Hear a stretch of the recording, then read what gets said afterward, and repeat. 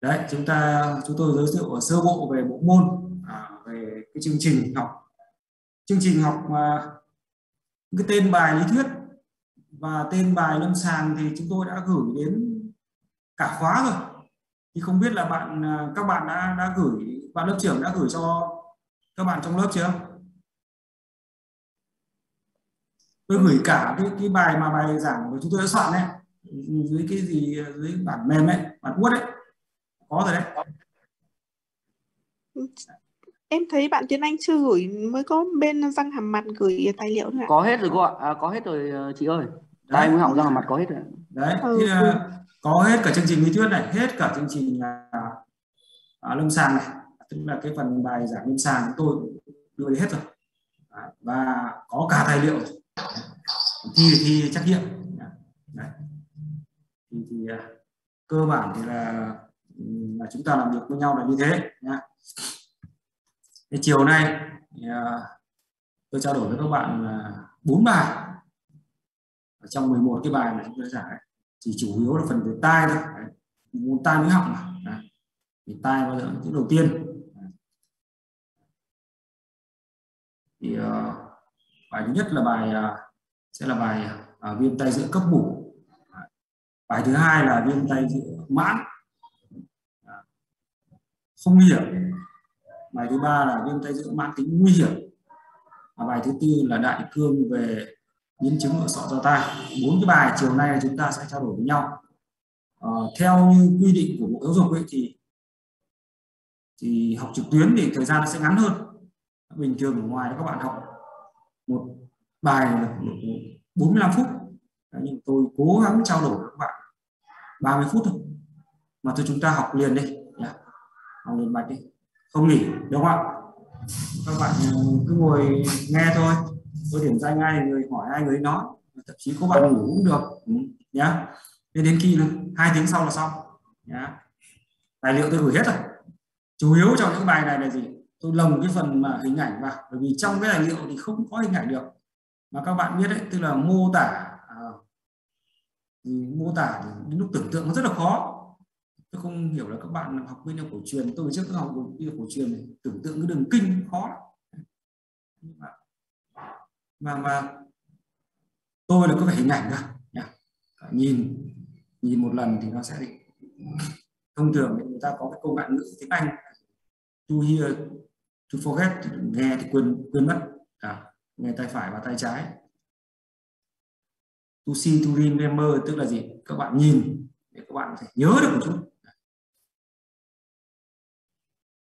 To do to understand tức là đến khi mà làm trong câu chuẩn đầu ra các bạn là có phải có thực hành làm thành thạo cái gì đó thì mới hiểu.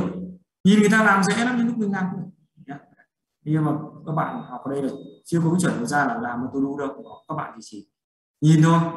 Kể cả các bạn đi học lâm sàng các bạn cũng chỉ kiến tập. Chứ không thể là làm được.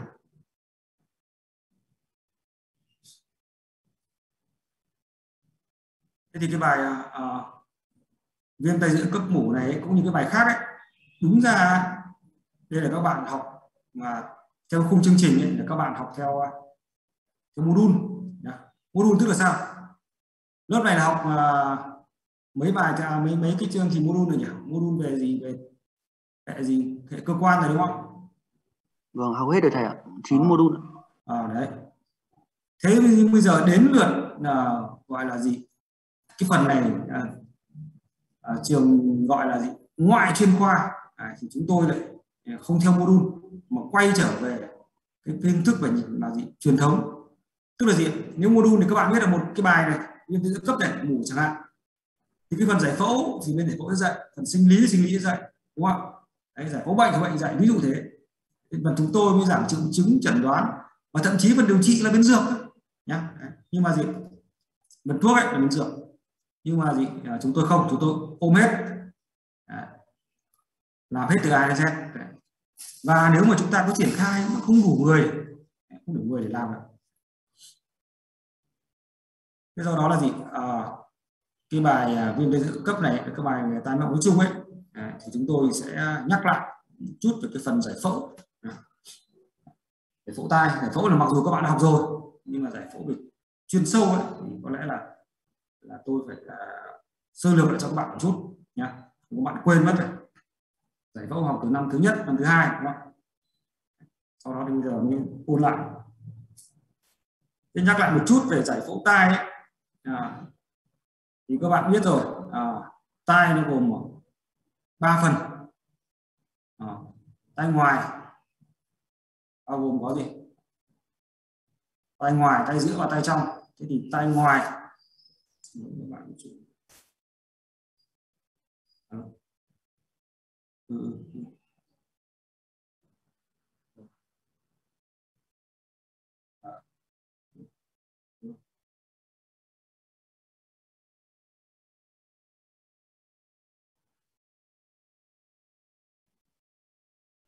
Ờ, tức là không không phải đâu hợp hợp đồng đấy là bên bên bên tổ chức ấy. trước là dung làm hết mà dung làm hết yeah. thế thế thì thế thì thế thì chú xem lại xem là cái dung người trước là ký ai nhỉ dung chắc là ký phòng lãnh đạo, phòng là ai đấy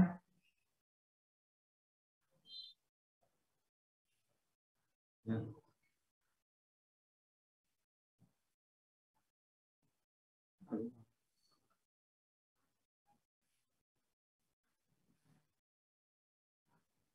Yeah.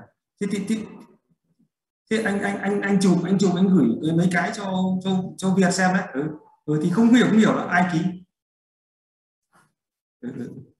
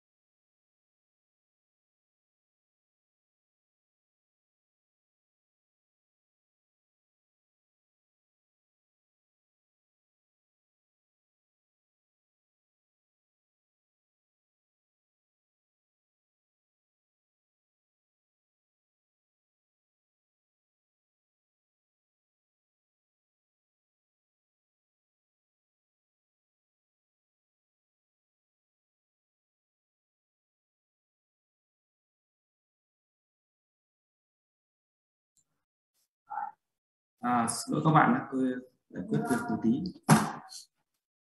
Và tiếp tục nhé. Đấy thì bao gồm à, uh, tay là các bao gồm ba phần này. Tay ngoài tay giữa và tay trong. Cái tay ngoài thì uh, tôi giới thiệu sơ qua nó liên quan tay giữa là chính. Tay ngoài có thì vành tay uh, à, vành tay và ống tay ngoài. Các bạn nhớ là ống tay ngoài thì có ống tay trong nhé. Ngoài có ngoài có trong.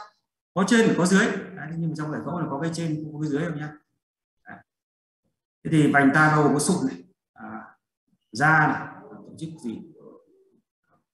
Mỡ này cái đấy thì các bạn này. tiếp cái ống tai ấy, thì các bạn nhìn đây này. Hai phần ba ngoài đó là gì? Sụn. Sụn. Da và sụn. Một phần ba trong là gì? Xương. Của thẳng xương. Cái ống ống tai này nó không thẳng từ ngoài vào trong đâu mà nó tạo thành cái góc mở ra trước góc tủ ấy, mở ra trước xuống dưới thế nên là khi khi khám khi khám ấy, à, thì các bạn phải kéo cái vành tai ngược lại kéo lên trên và gì ra sau thì cái ống tai mới thẳng được nếu mà dùng đèn phải la thế còn cái phần mà gì à, quan trọng nhất ấy, của chúng ta thì là gì? Cái phần tay giữa này. À, tay giữa hay là hòm nhĩ tí tôi sẽ nói sâu phần này. Và tiếp theo là gì à, tay trong tay trong gồm ốc tai và tiền đình. Tiền đình có ống bán quyên ống bán quyên trước này ống bắn quyên sau ống bắn quyên ngoài. Nhưng mà trước đây người ta gọi ống bắn quyên trước là ống bắn quyên trên đấy nhưng trên này không có dưới. Ở trên ống bắn quyên sau và ống bắn quyên ngoài. Đây thần kinh thứ 8 à, là cái dây có gồm à, dây thần kinh gì tiền đình và dây thần kinh ốc tai quay trở lại à, của cái bài này thì giải phẫu liên quan nhiều nhất là gì? Là tay giữa. À, tay giữa thì là cái hòm nhĩ. À, bạn là bạn doanh. Bạn doanh có nhỉ? Có có thể doanh. À. có thể bạn bạn cho tôi biết là cái hòm nó có bao nhiêu thành? Hòm hòm hòm nó có, có hả? Có bao nhiêu thành? sáu thành đấy à, đúng rồi 6 tấm nhá. Hòm hòm nhĩ tay dưới hòm đấy thì nó có 6 thành. Đúng rồi. Thì cái thành quan trọng nhất đấy là cái thành ngoài hay được gọi gì vào cái màng nhĩ em có cái màng nhĩ này. Tất cả mọi cái triệu chứng biểu hiện đây hết. Nhá đấy. tiếp theo ấy là thành trên. Đấy. những cái thành khác năm cái thành thành ngoài này, nó có hai phần này. Ở phần dưới ấy, là gì? Ở cái màng nhĩ phía trên này là phần xương. Đấy, gọi là gì? Tường thượng nhĩ. Đây là hạ nhĩ này, thượng nhĩ. Hạ thượng trung nhĩ còn thành trên ấy là nó là xương ngăn cách giữa tay giữa cái hố não giữa. Thành trước ấy à, là cũng là mảng xương Đấy, nhưng nó liên quan đến gì? Ở phía dưới là cái lỗ vòi nhĩ này thông với họng. Đấy, còn phía trên của nó là ống cơ búa cái này cắt này không không nhìn thấy nhá. và cái động mạch cảnh trong ấy, nó chạy ngay sát cái thành trước này. Thì cách thành trước một mạch cái mảng xương rất là mỏng một ly thôi ngay cái thành trên cũng vậy. Trong giày này thôi nhưng có trường hợp dị, dị dạng. Nó hở. Liên quan đến gì à, thì nó hở cái cái khe cái, cái, cái khớp chai đá trên này. Nó gây chảy dịch phẫu tủy hoặc là xa màng não vân vân và tay giữa. À, còn thành trong của nó ấy, cũng là mảnh xương nhưng mà liên quan nhiều đến gì đây các bạn liên quan đến tay trong. Qua cái hai cửa sổ. Một là gì? Cửa sổ bố dục. Có cái xương bàn đạp và à, cái cửa sổ thứ hai là gì à, cửa sổ tròn này, cân bằng áp lực này. Thành sau ấy, thì là liên quan đến sáo đạn và sáo bào. Sinh trụ cái trong hòm nhĩ nội dung hòm nhĩ à, có cái hệ thống vị xương con hay là tiểu cốt. Bao gồm có ba xương là xương búa này, xương đen xương bàn đạp. Thế thì à, các bạn nhìn thấy này à, đây là xương búa này đầu xương búa này Đấy. cán xương búa này. Đây là cái mống ngắn xương búa tí các bạn nhìn thấy hình, hình nội soi như thế và khớp với xương đe như hình như đe. Đây là ngành xuống xương đe đây là hình ờ, thành ngang xương đe và khớp xương đe với xương bàn đạp khớp đe đạp. Và xương bàn đạp này như cái gì? Như cái à, như, như cái, cái bàn đạp mình gọi xương bàn đạp cái đế đạo và cơ sở bổ sung thế thì về sinh lý nghe không tôi nhắc luôn lại về sinh lý thì là cái âm thanh là sóng âm à, tức là siêu âm đấy sóng siêu âm sóng vi ba đấy. Khi mà nghe thì âm thanh sẽ qua các rãnh của, của tai ngoài này. Nó dội vào trong này. Màng nhĩ từ cái màng nhĩ này, nó khuếch đại âm thanh qua hệ thống sinh con này chuyên vào cửa sổ của dục. Truyền vào gì? À, vào tay trong tạo nên những sóng điện à, di chuyển lượng dịch tạo nên sóng điện và thành gì chuyển đến tín hiệu chuyển qua thần kinh ốc tai vào trong não để xử lý sinh lý thì chúng ta à, đơn giản như vậy thôi hiểu như vậy. Thế cái gì? Hệ thống ống bắn khuyên này à, ba chiều để giúp cho chúng ta thì à, giữ gì? Thăng bằng trong không gian này, này liên quan đến chức năng của tai nghe và gì thăng bằng hai cái chức năng chính là như vậy ngoài ra ờ, các thầy còn nói thêm một chức năng phát âm tức là cộng hưởng qua cái hòm nhĩ này. Nhưng chức năng đấy là chuyên sâu rồi chúng ta chỉ biết là chức năng nghe và chức năng thăng bằng rồi thế thì uh, cái tai đây chúng tôi mô hình hóa đi. Hòm mà các bạn nhìn thấy hòm này. 6 tấm này thành ngoài thành trước có vỏ nhĩ này thành trên. Đấy. đây là gì? Thành sau đây này.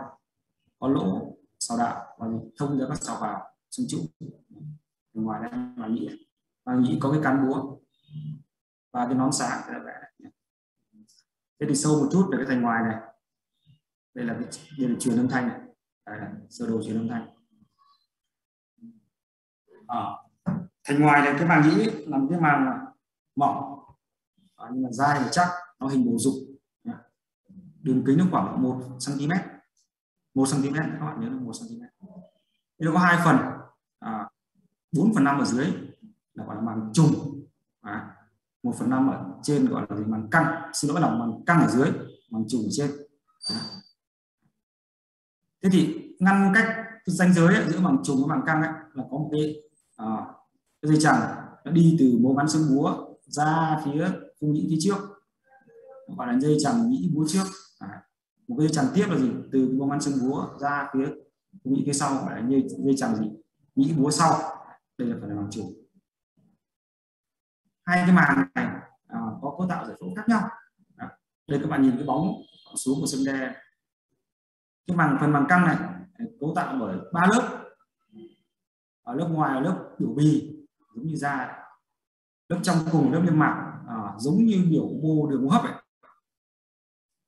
bạn à, một bạn tôi biết là cái đặc điểm của biểu mô đường hô hấp là nó theo thế nào nhỉ? Nó đặc điểm gì nhỉ? Bạn lớp trưởng. Bạn lớp trưởng. Dạ thầy hỏi lại ạ. À, biểu mô đường hô hấp nó có đặc điểm gì? Ờ, nó là một cái lớp uh, biểu mô uh, nhị- ờ, biểu mô lát tầng thầy ạ. Nó có những cái lớp uh, um, ờ, cái gì bao phủ bên ngoài nhỉ? Um, niêm mạc bạn à, lớp phó học tập. Bạn tên là gì? Lớp phó học tập tên là gì nhỉ liên hệ với tôi nhỉ. Bạn Dạ, có em không à, tôi biết là đặc điểm của cái lớp biểu mô đường hấp nó là điểm gì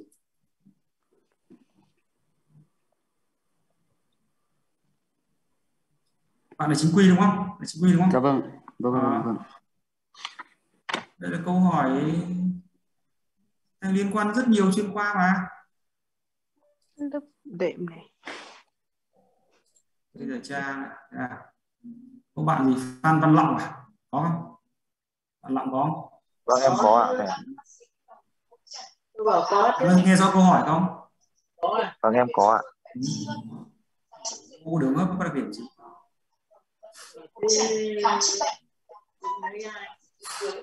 tôi lấy cái ông Đúng tên ông ông bạn bạn Hà Nguyễn Hải Hà. Biểu mô trụ xả tầng. Hà có không? Dạ, em ờ, thưa thầy, biểu mô đường hô hấp có đặc điểm gì? em thưa thầy biểu mô đường hô hấp à, em đang tìm nhưng mà nó À, khó tìm bạn, quá. à, Nguyễn Thị Thắm. Cái này là không phải tìm cái này các bạn nắm được. Cái gì thắng Em thưa thầy là biểu mô đường hô hấp là biểu mô phủ giả tầng ạ. có lớp lông chuyển nữa. Đây có bạn trả lời ở trên đây rồi. Bạn, nào- bạn nào biết là nói cho các bạn biết nào. Bạn nào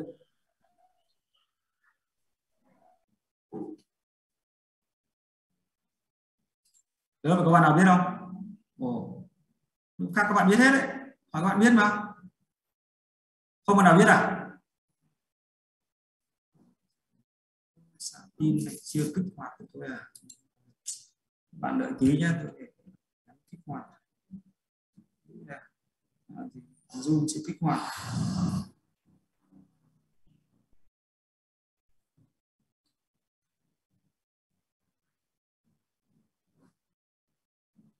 Cái ờ, cái anh ấy phụ trách cái phần ờ, zoom này anh ấy bị, anh là f không.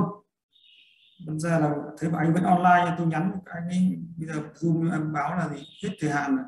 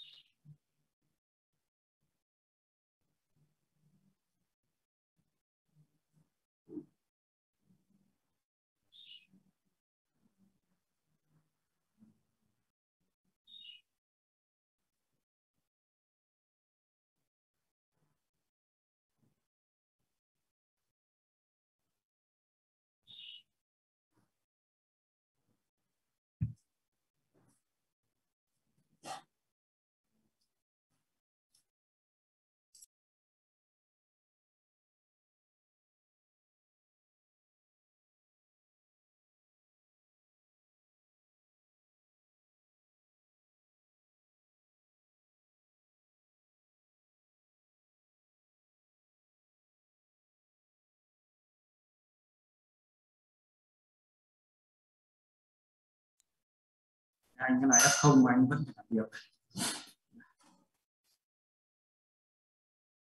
Câu này không bạn nào biết à? 90 lúc này 99 nhỉ? Bây giờ mới có 95 bạn vào. Bốn bạn nữa có tí lớp trưởng cho tôi xin sách nhá. Bốn bạn không học nhá. Bạn lớp trưởng nghe được không? Vâng ạ.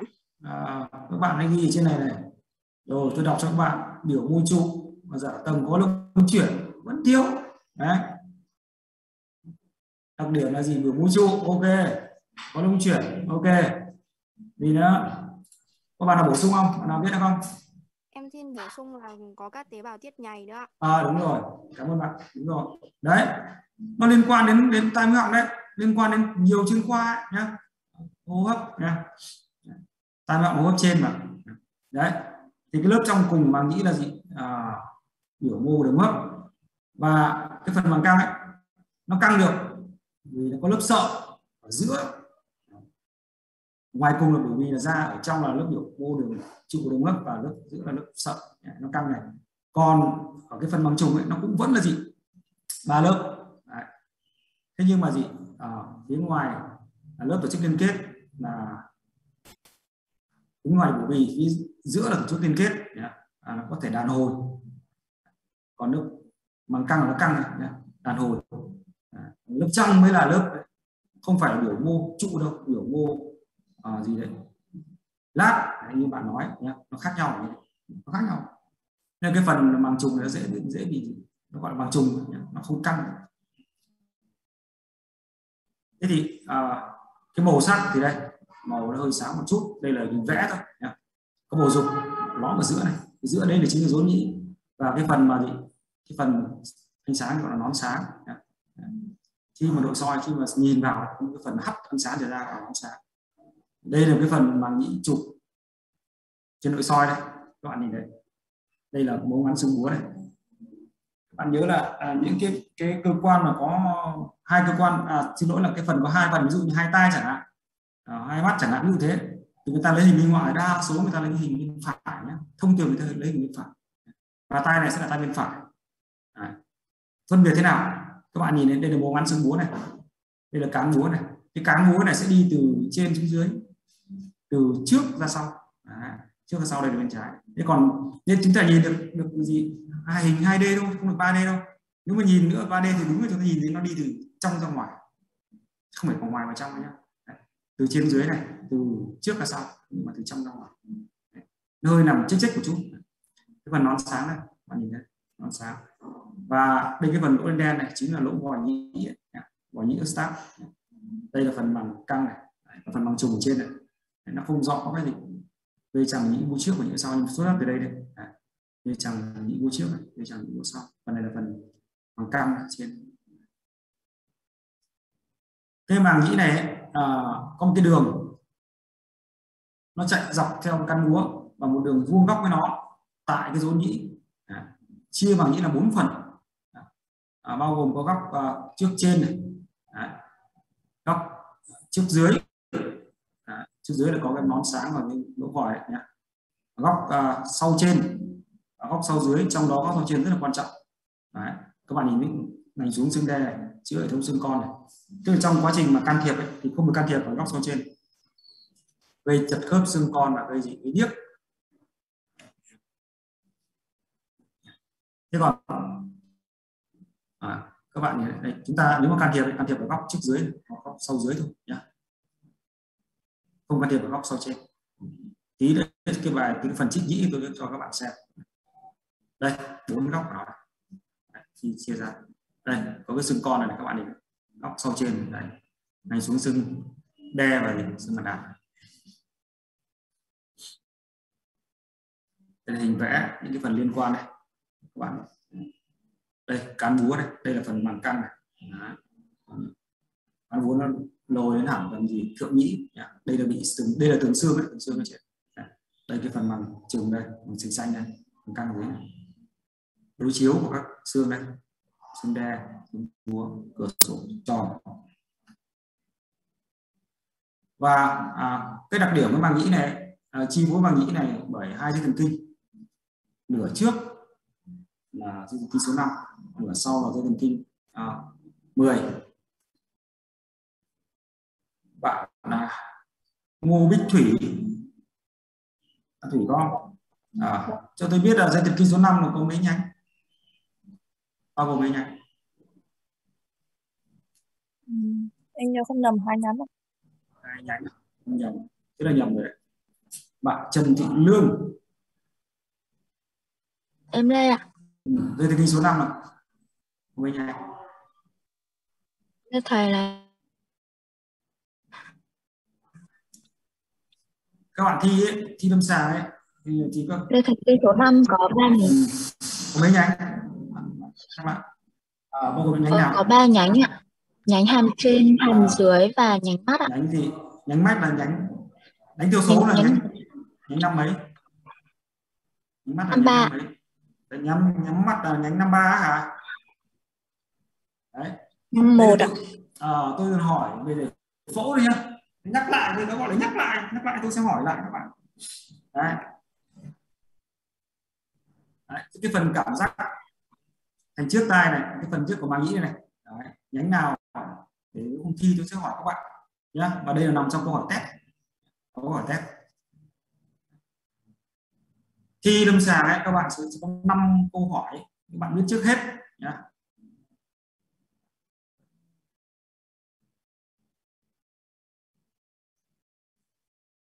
các bạn sẽ biết trước có 5 câu à, câu thứ nhất là phần hỏi bệnh hỏi ấy. Đấy câu thứ hai là gì? À, học cái phần hình ảnh nội soi. Hình ảnh nội soi tai mũi câu thứ ba là gì? Học phim. Câu thứ tư là gì? Hỏi về 12 đơn vị sọ não nhé. Một trong 12 đơn vị sọ não toàn câu các bạn các bạn học rồi. Học phải giải phẫu thôi tôi chẳng hỏi cái gì mà cái lớn cả nhé. và câu thứ mấy câu gì ạ? Bốn câu đúng không? Câu thứ năm là cái phần thuốc ấy các bạn cho cho bệnh án này. các bạn cho thuốc gì các bạn biết cái đấy. Giống như đông y các bạn ấy. cho thuốc các bạn biết là tương tác tác dụng phụ thế nào. Cái quay trở lại bài là đấy cái phần cảm giác mà nghĩ đấy, đấy. thế nên là nó sẽ tí sẽ lý giải tại sao mà đau tai liên quan đến thần kinh này. Bây giờ thành trong của mà nghĩ ta nhìn này. Nhìn đứng từ trong nhìn ra. này tượng đây, cái phần xương búa và xương đen là hoàn toàn trên cái từng xương đầu của này đấy. thường thường nhĩ nó che hết cái từng xương này. đây là cái ống cơ búa, như vậy tôi nói đấy thành trước đây, liên quan đến vỏ nhĩ ở trước này và ống cơ búa trên đấy. và cái động mạch cảnh trong này, nó chạy ngay sát trước cái thành trước của nhĩ một số trường hợp là gì cái xương này nó bị hở thế là bệnh nhân cứ nghe tiếng đập ở trong tai ấy. đấy, chính là động mạch cảnh trong rồi đấy và có trường hợp nó lồi vào trong tai mình không biết, chúng ta chọc của nó là thôi rồi đấy bệnh nhân tự nhiên. Chảy máu không cầu được mà ra đi đấy. Ở đây dây thần kinh số 7 đấy. Đây đoạn 3 đây là dây thần kinh thường nhĩ thường nhĩ chạy ra à, phía trước. Chi phối cho cảm giác của lưỡi. Cái này trên sâu thì hỏi chắc không bạn nào biết đâu. Phần nào cảm giác của lưỡi các bạn. Ở đây. Đây là sơ đồ của cái lớp sợi có phần bằng căng này tạo thêm bằng căng của nhĩ đấy cái đường chạy lớp sợi này. nó chạy vòng tròn thế này. Lý giải tại sao mà tí khi trích bằng nhĩ thì chúng ta lại trích thì à, cái đường nó lại song song nó không nhĩ chứ lại không phải cắt ngang sợi.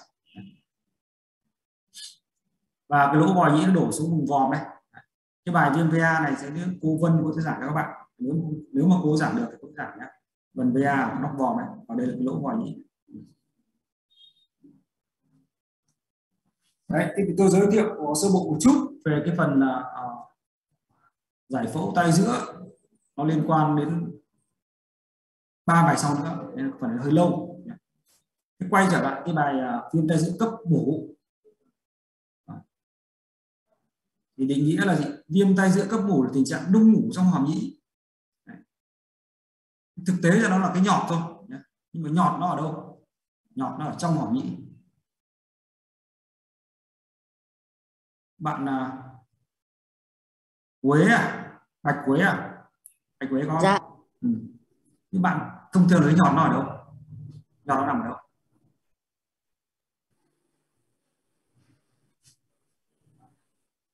Bạn định nghĩa là nhọt.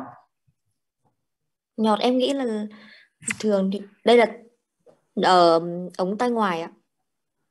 Ờ, ống tay ngoài thì đấy tức là nó không phải ống tay ngoài đâu mà nó nó chung chung cơ à, chứ không phải là cái chuyện mà ống tay ngoài đúng rồi. Ống tay ngoài nó có cấu tạo bởi gì đấy? Ờ, lớp uh, da bên à, ngoài. à, và gì nữa? Tôi vừa nhắc lại lại đấy. Bao gồm có da và gì? Ờ, bên bên ngoài thì có sụn và xương nhá. Vâng, thế, nó, thế nó nằm ở đâu? Thế nó nằm ở đâu? Nhọt nó sẽ nằm ở đâu ờ, dưới lớp da à, trong lớp da trong da nhá Ờ, da cấu tạo bởi uh, bao nhiêu lớp bao bao nhiêu lớp bạn biết không? Bốn lớp ạ. Lớp gì?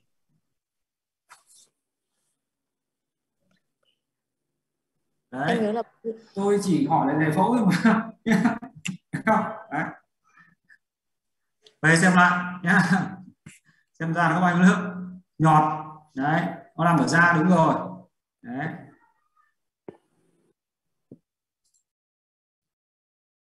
bạn gì nhỉ? tiếng anh. Tiếng anh có có. Cho tôi biết là định nghĩa thế nào về nhọt. Rất đơn giản. Nhọt nó nằm ở da đúng không? Làm lớp nào các bạn phải xem. Em cũng mới ờ, hiểu được như bạn ờ, chị trước vừa trình bày. Đấy là nằm ở da đúng rồi. Thế nhưng mà định nghĩa về nhọt bạn có biết không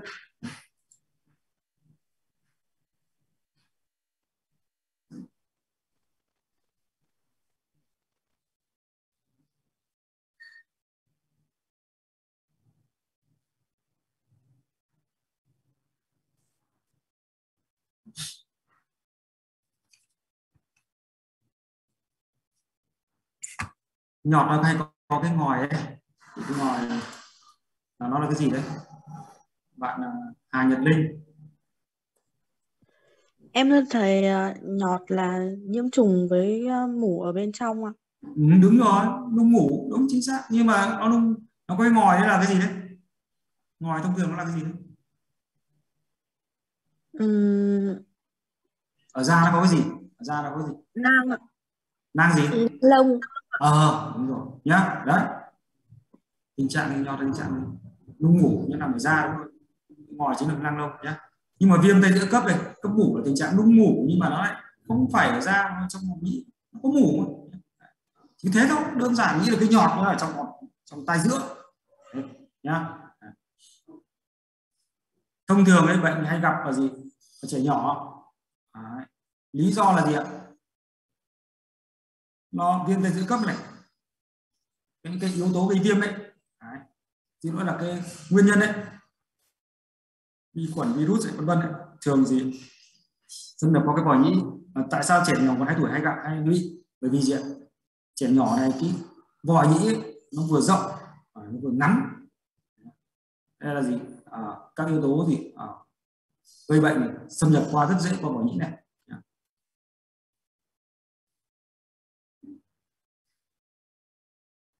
Về à, phần giải phẫu bệnh ấy cái tổn thương viêm ấy chủ yếu là tổn thương viêm niêm mạc à, của nhĩ.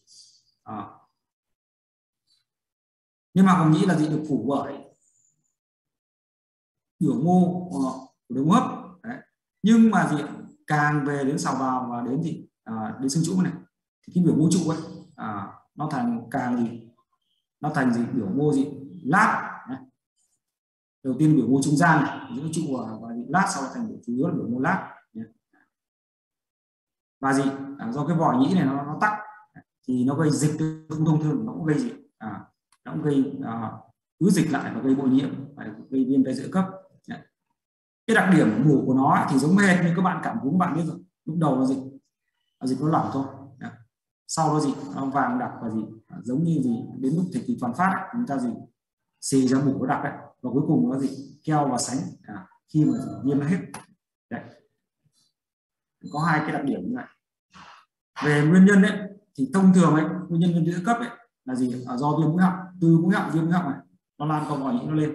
À, và đặc biệt ở trẻ em mà có cái VA cô Vân sẽ giải cho các bạn điều này VA này. Nhưng cái VA của trẻ em ấy là gì ạ? À, nó phát triển là đến tầm độ 12 13 tuổi nó tự ờ, tự teo đi. Nhưng mà nhiều nhất là trẻ một hai tuổi VA rất to to nó chèn vào cái vòi nhĩ gây tắc vòi nó gây gì? Ờ. Gây bụi nhiễm. Hoặc là gì cái vòi nhĩ nó gì? Giãn rộng này. Đấy. thứ ba là những cái bệnh truyền nhiễm.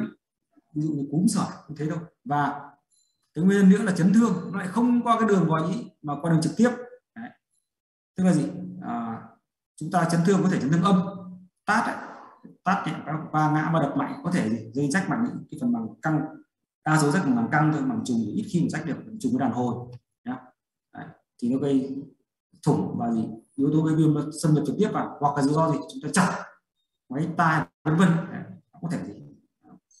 Nhưng mà cái đấy là gì? À, cái cái nguyên nhân đấy là hiếm gặp thôi chủ yếu là gì? Từ dưới mũi gặp qua cái vỏ nhĩ lên rồi một số cái bệnh lý khác ví dụ như là gì? Uh, viêm mũi xoang hoặc là u u vùng vòm mũi họng có thể u lành u ác.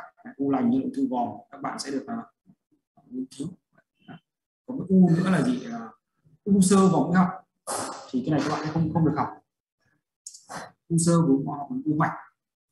Chủ yếu gặp là ở trẻ là tuổi 13 14 tuổi nhưng mà nam còn nữ thì không gặp u lành nó là u lành cái triệu chứng lâm sàng thì à, các bạn xem trong sách nhé tôi chỉ sơ bộ thôi nhé tôi qua các bạn một chút. Có ba giai đoạn. Giai đoạn đầu là giai đoạn gì? Ở sung huyết. Lý thuyết rất nhiều. Các bạn đọc trong sách một loạt. Toàn thân có chứng nhiễm trùng này, giống như viêm long đường hấp cấp trên này. Rồi là gì? Cái cơ năng này. Cái tai mà. Đấy. tai thì nó đau tai có thể là gì? Uh, nó đau vừa thôi hoặc là kèm theo ù tai là nghe kém. Bạn là Trần Đức Hoàng. Trần Đức Hoàng. Bạn bạn Hoàng không có à? Dạ dạ có em ạ. Dạ.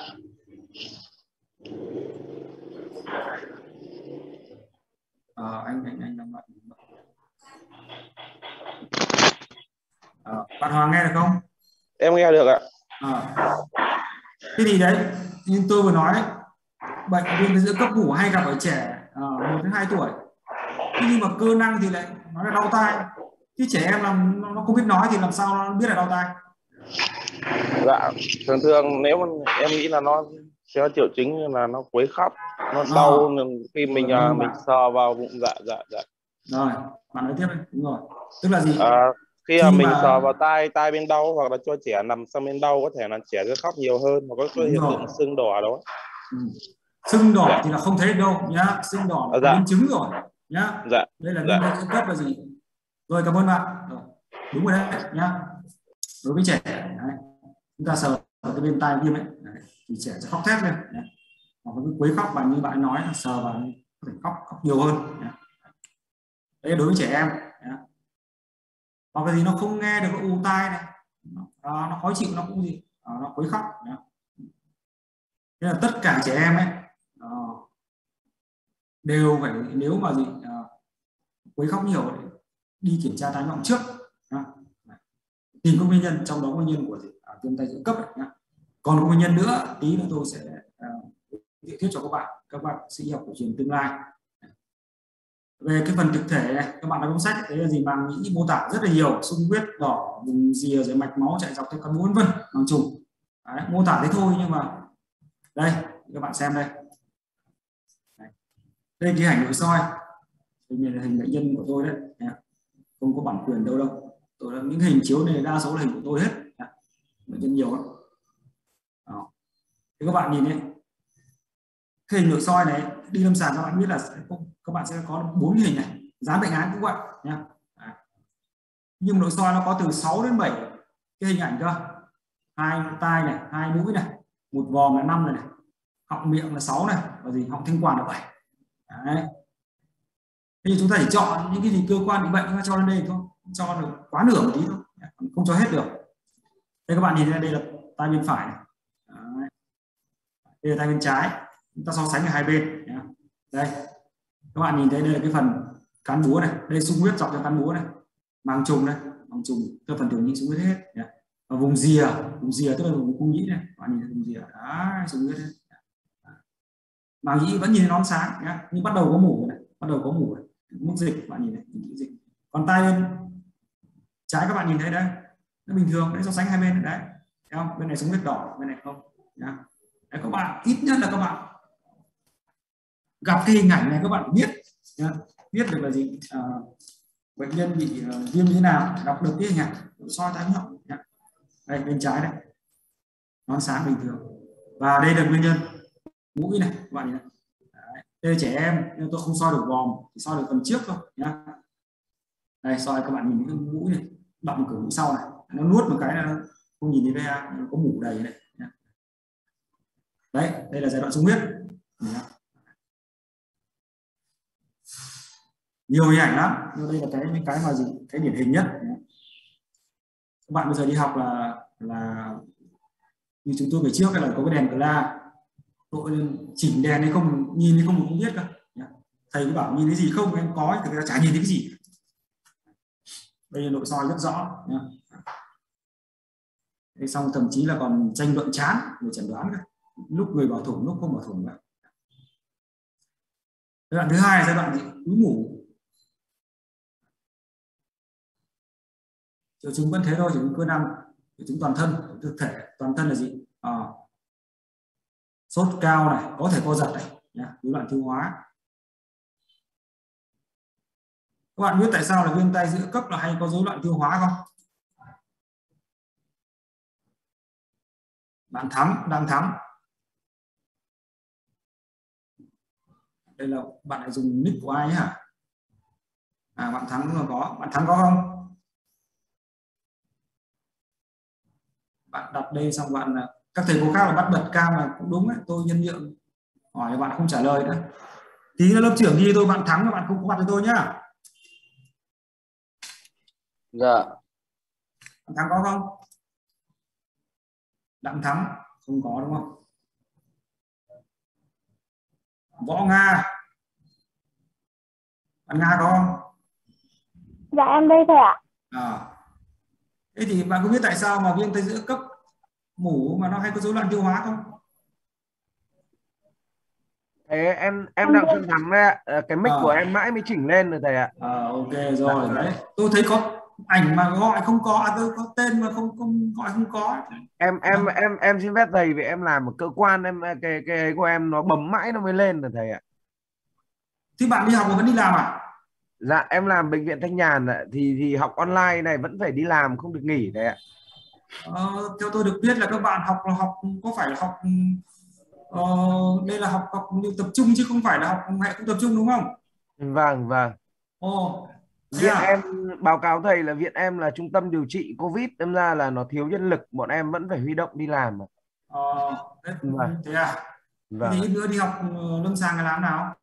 À, nếu mà có lịch chính thức mà tập trung đến trường thì thì À. chắc là là phòng tổ chức cũng sẽ tạo điều kiện cho thầy ạ Ồ, thế à? còn hiện tại thì em vẫn đang phải làm ạ Ồ, đi làm nên là vừa học vừa rồi, tốt rồi, tốt rồi. Thế bạn có biết là gì tại sao mà trẻ nó như giờ có ngủ mà hay có rối loạn tiêu hóa không?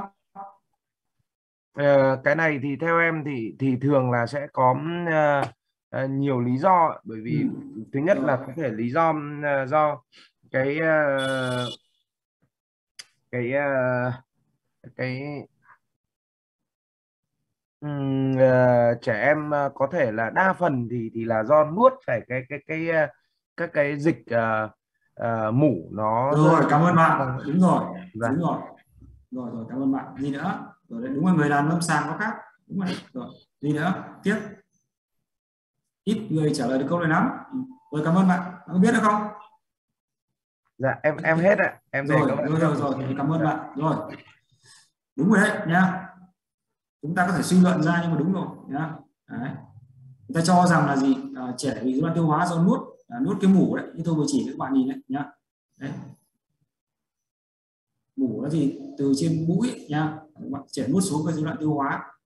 Và có một cái lý giải nữa là thông thường trẻ hay bị viêm VA à, VA là tổ chức lanh phô thì ngoài ở vùng mũi họng ra. Đấy, các bạn sẽ học đấy. thì nó còn có ở gì? Tổ chức lympho nó còn có ở cái phần ở ống tiêu hóa nữa. cụ thể đấy là phần manh tràng nhá, kích thích phần ruột thừa xung quanh đấy có tổ chức lympho đấy là gì? Người ta cho như thế cho rằng như vậy thì cơ năng uh, giai đoạn ứ ngủ thì đau nhiều hơn vẫn là đau tai nhưng đau nhiều hơn. Đấy. Ờ, nghe kém dẫn truyền là nghe thường xuyên. Và thế nào là nghe kém dẫn truyền?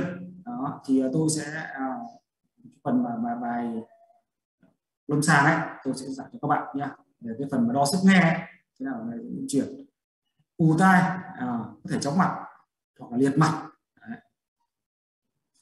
ù tai thì do gì à, do ứ dịch rồi nhưng mà chóng mặt có thể chóng mặt. Tai các bạn biết có hai chức năng chức năng nghe và chức năng thăng bằng. Đấy. tức là một khi mà chóng mặt thì là đã bắt đầu gì? Tổn thương bắt đầu gì? Lan vào tay trong rồi. Đó. Đó hoặc trường hợp liệt mặt liệt mặt là các bạn biết là cái, cái thành trong ấy hòm nhĩ. Ở đi ngay phía trên cái cửa sổ bầu dục ấy Đấy, nó có cái dây thần kinh số 7 đoạn hai thần kinh số 7 một số trường hợp trẻ nhỏ ấy, tức là cái, cái gọi là ống thần kinh mặt hay là ống pha lốp ấy nó chưa đóng kín nó hở. Thì khi mà mủ ở trong hòm nhĩ ấy, nhiều nó sẽ chèn vào dây thần kinh này Đấy, nó gây liệt mặt. Đây là lý do mà gì? Các bác sĩ y học cổ truyền đấy, đấy cứ, cứ thấy trẻ con liệt mặt luôn lôi châm cứu đấy. mà cái đấy là có nhiều rồi nhá. Chúng tôi gặp rất nhiều thì trẻ ở bệnh viện châm cứu ấy, châm cứu mãi. Sau đó chuyển sang bệnh viện tai mũi họng thì nó hóa ra là viêm tai giữa nhá. Chúng ta chỉ điều trị phần ngọn thôi cái phần nguyên nhân nhưng không điều trị. Tức là nó chèn ép chúng ta phải dẫn lưu ra nhá. Cái tí nữa cho các bạn xem một cái hình ảnh trẻ em liệt mặt mà rất hay gặp ở trẻ đấy. Nên các bạn nhớ là khi mà gì trẻ mà có liệt mặt thì bắt buộc phải đi khám tai mũi họng nhá. Nhất là trẻ nhỏ khám tai vọng trước thì nguyên nhân đã nhá loại trừ nguyên nhân. Về phần thực thể à, thì đây mô tả rất nhiều mà nghĩ về à, mất nón sáng rồi phồng mặt kính đồng hồ vân vân màu nhạt trắng bạch. Đấy, mô tả rất nhiều. Đấy, như các bạn nhìn đây đây. Nên cô nhận là các bạn nghĩ được không? Đấy. vẫn là tai bên phải nhá. tất cả màu sắc giống hệt cái màu da ống tai là màu đỏ đấy. Đây đây vẫn là phần gì? À, đấy đây là cán xương múa này.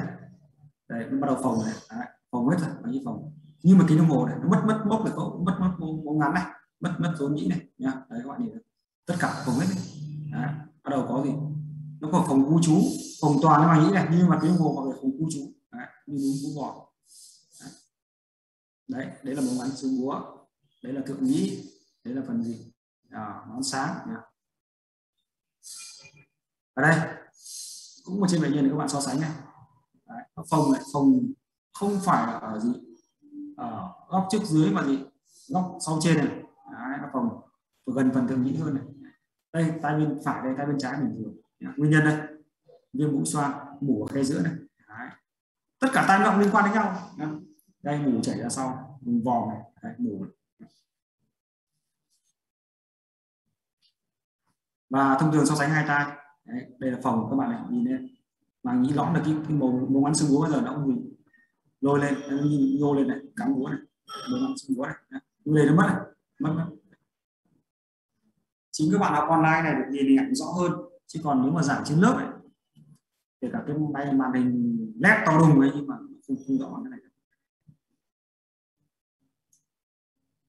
Và à, cũng có một số trường hợp thì màng nhĩ nó lại không không phòng. Đấy như có mủ đấy, đấy. đấy có mủ đấy. đấy. nguyên nhân đây amidan to. Có xuống huyết một chút đấy. nhưng đây đây là giai đoạn sau rồi nhá. Tức là gì? Hết giai đoạn gì ứ mủ thông thường ứ mủ sẽ đến giai đoạn 3 đấy, nhưng mà nó không. Và tức là nó vỡ mủ đấy nó không vỡ mủ do điều trị nó tiêu dần đi nhá. thì bác sĩ xuống là có thể ngủ mủ đấy với điều trị điều trị là như nào điều trị cái vòi nhĩ bắt đầu nó gì nó nề điều trị nó thông thoáng là nó dẫn lưu mũi xuống được thì nó thoát dần ra thế mà nhĩ nó vẫn còn sung huyết đây thì nó sẽ gì à, đỡ, phòng rồi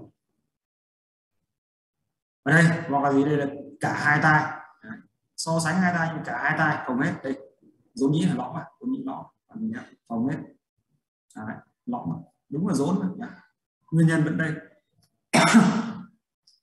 các bạn.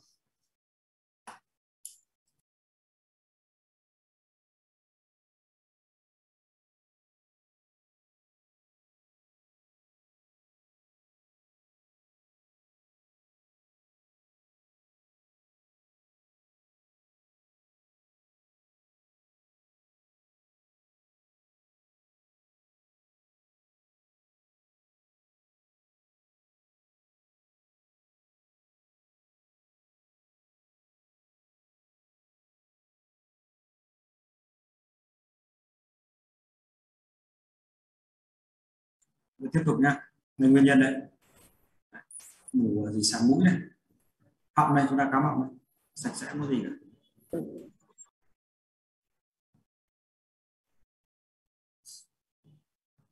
Tiếp. Trên cùng bệnh nhân. Đấy. tay trái, đấy. Đang giai đoạn gì? Cúi ngủ và nhĩ phòng trắng bạch. Xuống huyết này. Bạch, phòng đầy mủ. Nhưng mà tay phải đã bị viêm rồi. Đấy, nhưng mà đến giai đoạn sau rồi tức là gì? Nó không vỡ ra mà là gì? Nó tiêu dần đi đấy. Mù màu, màu vàng nhạt. Mà nghĩ là gì? Nó nó ngược khung phòng nó sáng vẫn còn trên cùng bệnh nhân. Và hình như à, núm vú bò hình mặt đồng hồ này. Núm vú bò tức là phòng khu trú. Ngày trước mà gì? Bài giảng các thầy nói là hình như núm vú bò mặt kính đồng hồ được như núm vú bò là khó tưởng tượng lắm. Nhưng mà tức là trên cái nền mà gì? À, mà nghĩ phòng có một chỗ nó phòng lên. À, đấy, phòng khu ừ, cũng bỏ. Cái dạng thứ ba là giai đoạn gì? Vỡ mủ. Tức là gì? Khi mà cái màng nhĩ à, nó căng quá nó sẽ vỡ ra. Đấy. Đấy. thì mủ được gì? Chảy ra ngoài. Ngoài ống tai ngoài đấy. Thì khi đó một loạt các triệu chứng à, đều giảm xuống cơ năng toàn thân vân vân. Và quan trọng thực thể chúng ta nhìn thấy ngoài à, ống tay ngoài ấy, có mủ. Và khi mà hút hết đi chúng ta nhìn thấy màng nhĩ có lỗ thủng. Đây là một số hình ảnh đây. Trên cái màng nhĩ phòng này đang cái phòng mà đã có một bắt đầu vỡ rồi đấy. Có giọt mủ chảy ra đập thân nhịp mạch. Đây là mủ và những mủ chảy. Đây là tay trái đây là tay phải.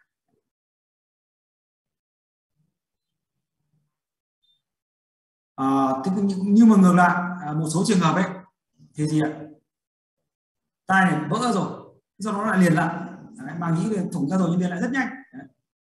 hoặc là trường hợp này là bệnh nhân bị à, à, bị gì ạ? à, cái này được trích nghĩ rồi Đấy.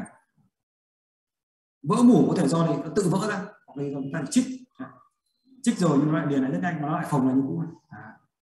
và các bạn biết rằng nếu mà mủ ấy nó không vỡ ra ngoài ấy, do màng nhĩ nó dày ấy, nó có thể vỡ ra sau nhá nó thành sau. Nó ra gì phần xương trũng này tai này viêm xương trũng này. Các bạn nhìn thấy đây mới là gì? Nề đỏ này. Ở, ở thì ở mặt sau xương trũng này. À, xin lỗi là mặt xương trũng này. Bạn nhìn tai nó vẩy về trước nhá. xuất ngoại sau tai. Nó vẩy về trước. Và à, đây là một bệnh nhi như tôi nói lúc trước. Ở châm cứu này. À, chuyển sang cái này bạn tú phạm thị cầm tú Dạ em có ạ. à, bệnh nhi này bị sao đây Dạ bị liền mặt ạ. ừ.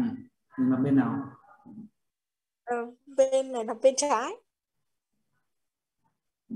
bạn Dạ alo, em không nghe Hà rõ. bạn Hà ừ, được rồi Hà Huy Hà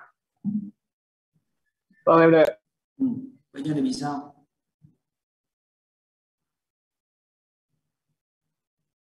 Cũng nghĩ là giống con tú là bị liệt bên trái liệt liệt mặt bên nào? bên, bên trái. Ừ.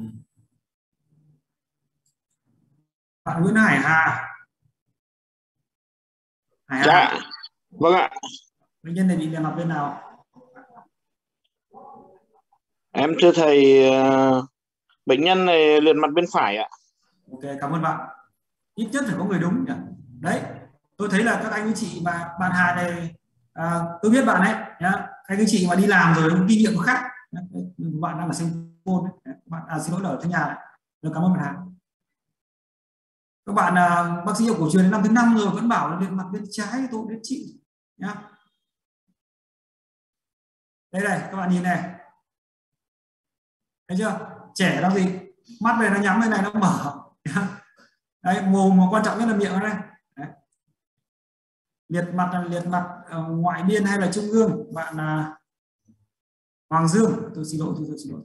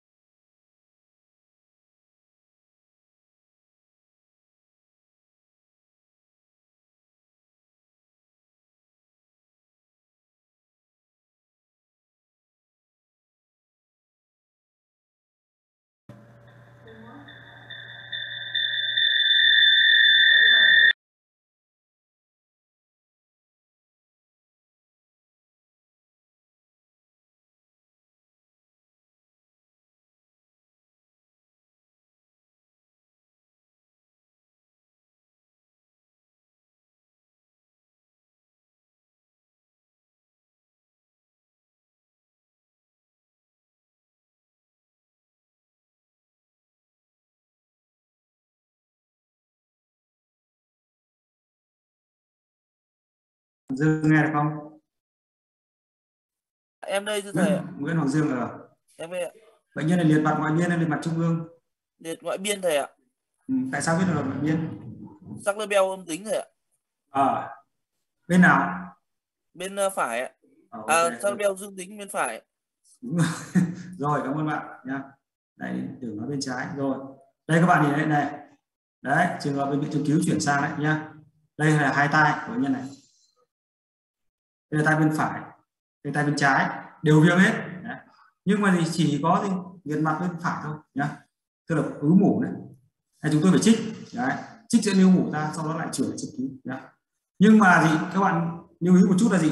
Đối với liệt mặt này à, do tai này đặc biệt là viêm tay giữa cấp bủ này trẻ em này phải trích càng sớm càng tốt. Không để lâu ấy là dây thần kinh nó không hồi phục được đâu nhá cái bài luyện 7 thì đề tài của tôi nó nói nó dài lắm. Tôi bài hôm nay thì tôi chỉ nói được như thế thôi nha. Còn bạn nào muốn tìm hiểu thì tôi sẽ gì uh, à, à, giới thiệu với bạn sau nha. thế thì phần chẩn đoán. Đấy qua một loạt ba cái giai đoạn này chủ yếu là chẩn đoán đi.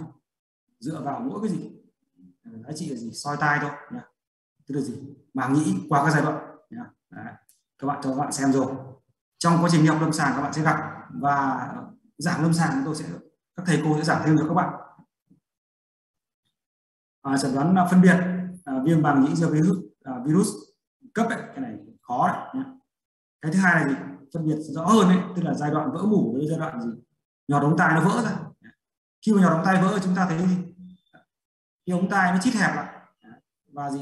Hút sạch mủ thì thấy màng nhĩ nó bình thường. Thế nhưng mà đối với gì? À, viêm tay giữa cấp mủ giai đoạn vỡ mủ thì ống tai nó rộng rãi và gì nhìn thấy thì uh, ờ, cái mủ nó chảy ra nhá, từ cái màng nhĩ thủng. Chẩn đoán nguyên nhân là gì? À, soi mũi họng đấy tất cả khám tôi vừa nói đấy, đều phải soi. Tìm nguyên nhân hết. Và đối với trẻ em thì tác lại chủ yếu do VA thế thì à, phân biệt. Đây là tôi nói ngoài một chút. Đau tai phân biệt rất nhiều nguyên nhân. À, đối với các bác sĩ học cổ truyền là chúng ta trong tay không có nội soi cờ là chúng ta nhìn quen. Thế thì chúng ta loại trừ thôi nhá. Có rất nhiều nguyên nhân gây đau tai. Đây đây là cái hình mô tả các bạn này. Viêm mũi xoang này đau tai này nhá. À, răng này lan lên tai này rồi gì? À, viêm tuyến mang tai đau tai này. Viêm khớp thái dương hàm này đau tai này. đấy một số trường hợp là soi màng nhĩ bình thường ấy nhá chúng ta phải tìm nguyên nhân khác. Hoặc là gì? Chúng ta lưỡi này. À, có thể là gì? Loét lưỡi này. Có thể là lành tính hoặc là ung thư vân vân đấy hoặc là gì? Uh, áp tơ miệng ở đến gốc lưỡi này đấy cũng thể đau làm nuốt đau làm lên tai hoặc là gì? Viêm thanh quản cũng thế nhá. Và đặc biệt nó liên quan đến dây thần kinh số 10 này đấy. đau dạ dày nhá. Có thể gì? Lan lên đau lan lên tai hoặc gì? Ở cái phần gì? À, phần đốt sống này đấy. đốt sống này thì không rõ nhá. Dây thần kinh nhưng mà dạ dày là liên quan dây 10 nhá các bạn nhé. Đấy đây là một số nguyên nhân gây đau tai. Nếu mà gì? Nội soi mà nghĩ là bình thường đấy, chúng ta tìm nguyên nhân ở chỗ này. Tai này tôi gặp rất nhiều trường hợp là viêm khớp tay chân hàm. À, các bạn đi răng các bạn sẽ biết tức là gì? Bệnh nhân đau tai như bệnh nhân này há ra bệnh nhân này à, khi mà ấn ở bên khớp tay hàm bên bên tai của bên bệnh nhân sẽ đau nhưng bên đối diện là không đau. Đấy là ví dụ thế một chúng ta khám răng à, xem những cái răng à, cùng bên có đau không à, khám mũi xoang vân vân đây là một trường hợp mà nhọt ống tai ngoài rất rõ này ống tai ngoài nó thu hẹp rất rõ. Đây nội soi màng nhĩ bình thường và thì nội soi mũi họng sạch sẽ cái gì đây chẩn đoán là nhọt ống tai ngoài bệnh nhân đến khám về đau tai.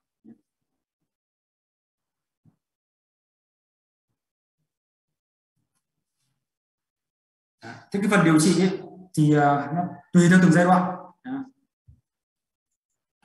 có hai phần à, thứ nhất là gì? Điều trị uh, toàn thân hai là điều trị uh, tại chỗ nhé.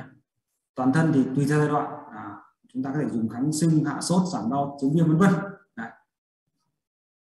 Giai đoạn là sung huyết thì điều trị theo gì? À, viêm nhiễm nhé. điều trị viêm nhiễm mũi họng va vân vân. Bài viêm va này cô vân sẽ giải.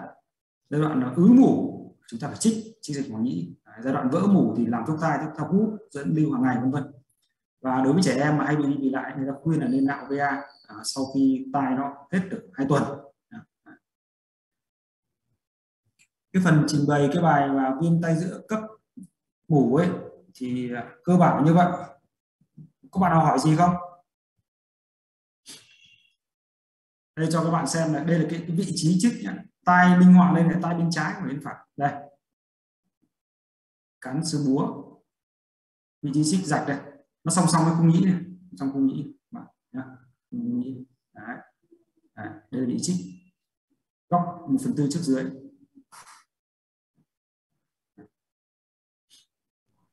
Thầy cho em hỏi ạ. Ừ, mời mời bạn. Tại sao à, nhân viên tay giữa giai đoạn ứ mủ lại phải trích rạch màng nhĩ ạ? Sao lại à. không để à, đến giai đoạn nó tự vỡ à, đúng rồi. Ok rồi cảm ơn bạn đấy, tức là nếu mà vỡ ấy, nó có thể vỡ bất kỳ chỗ nào, nhá. Vỡ góc trước, dưới này, trước, trên này, sau trên, sau dưới, và đặc biệt là vỡ góc sau trên này rất là nguy hiểm, nhá. và cái bưng chứng của bạn vừa nhìn thấy rồi. Nếu chúng ta không chích ấy mà nghĩ nó dày quá, nó lại gì? Nó lại không không vỡ ra đây mà nó nó vỡ ra đằng sau cơ. Vào xương chúm nó gây biến xương chúm ấy, các bạn nhìn đấy, cái tai nó vảnh đấy, nhá. Nó gây xuất ngoại sau tai, gây biến chứng tí nữa, các bạn sẽ gặp một loạt những à, biến chứng nội sọ đấy. và chủ yếu là viêm tay dương trụ cấp hoặc là gì mãn tính giai đoạn hồi viêm ấy tức là cũng giai đoạn cấp nhà nó vỡ là sau tai và còn nữa các bạn nhìn không đấy ứ mủ nó gây gì cái liệt mặt đấy. đấy. đấy.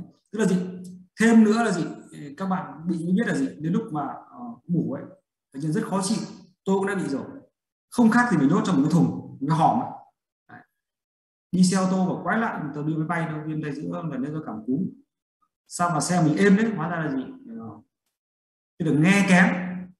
Nghe kém thì êm. Nó ù tai khó chịu lắm. Các bạn đã bị biết tắt vòi nhĩ biết chích trích ra cái vừa là gì giải quyết thì tức là nó căng tức.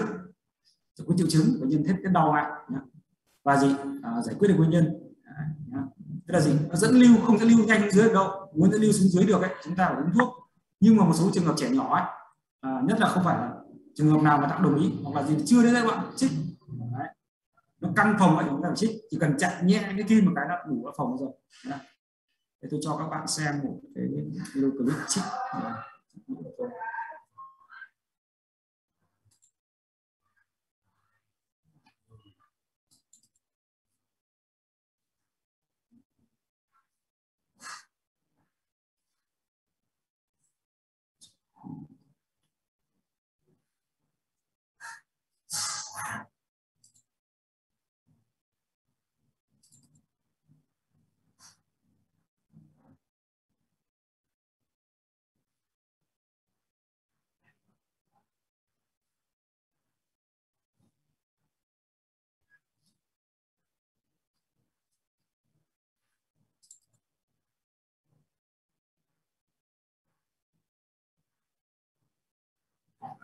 Ảnh nội soi trước khi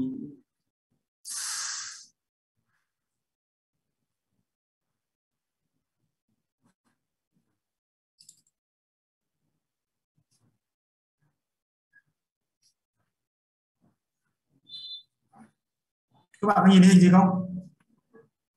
Không thấy đúng không? Không ạ. À, ok cái này lên được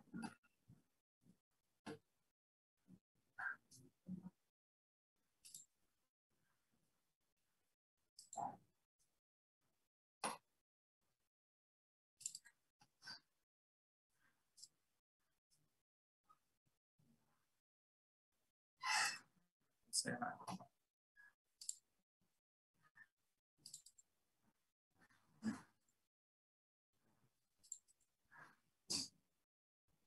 các bạn nhìn thấy nhìn thấy gì chưa? Chưa thầy ạ. Các bạn có nhìn thấy không? Thấy hình không? Chưa thấy thầy ạ. Chưa thấy à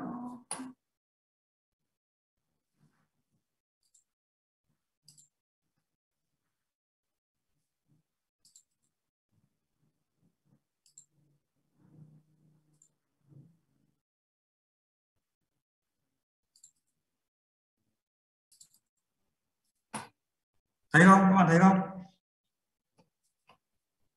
Chưa thấy đúng không? Vẫn chưa thấy. ạ.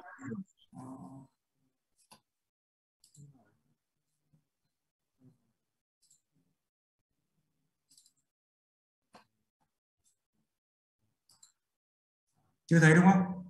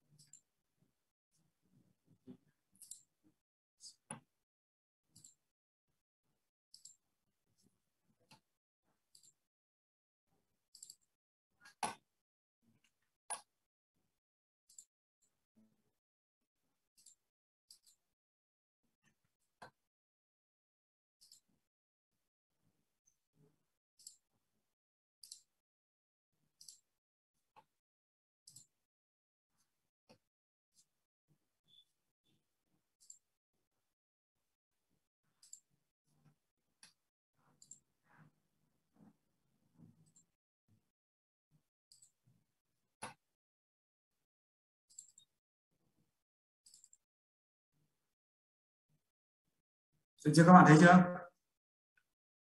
có thấy không Cứ thế thôi thầy ạ. Không ạ. Không thấy hình đâu chỉ thấy cái dấu tích của cái ảnh đấy thôi thầy ạ.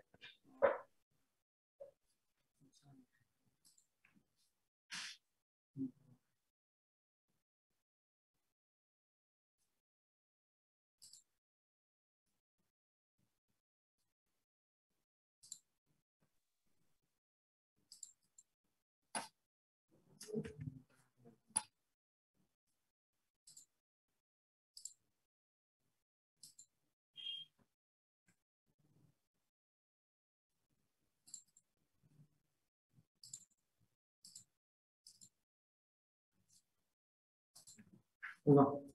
Các bạn sorry các bạn này tôi để tôi để cái tí tôi cho các bạn xem sau ạ.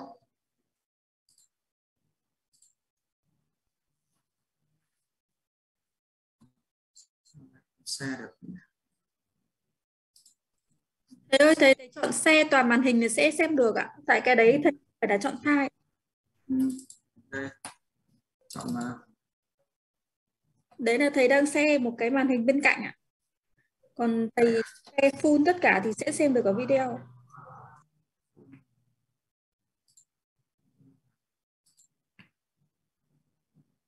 dùng xe bọc xe này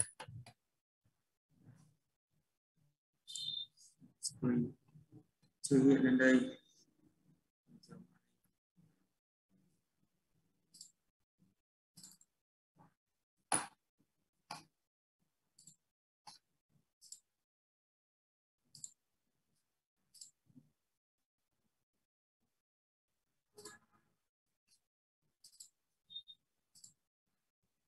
Ờ. được rồi. được chưa các bạn bạn xem được chưa Được rồi ạ. à, ok đây, đây, đây.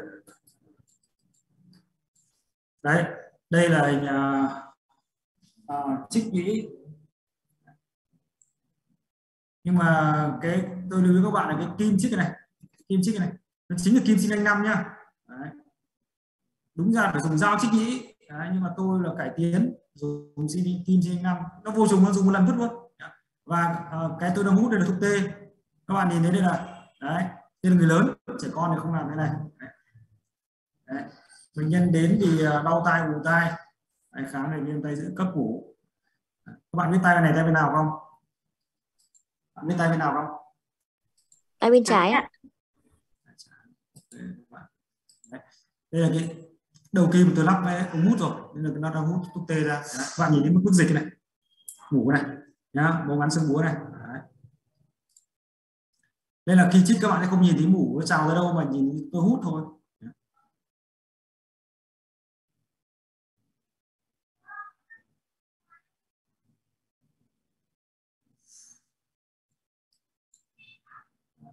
Đây là vừa hút vừa hỏi xem bệnh nhân có đau không. Đấy. chạm vào mặt nhĩ này.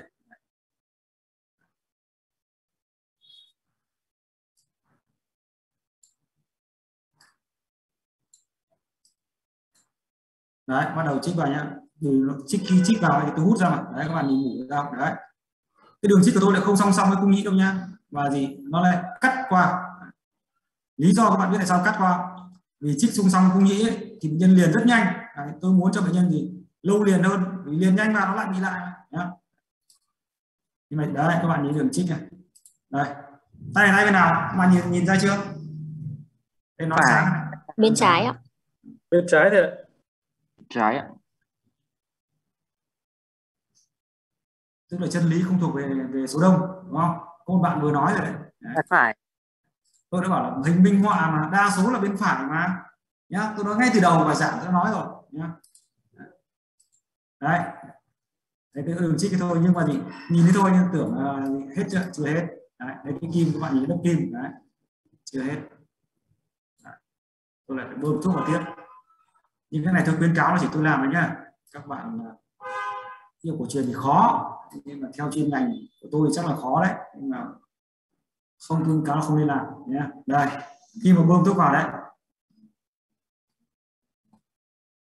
Nguyên tắc bơm vào là gì nó đuổi hết ngủ các ra nhá.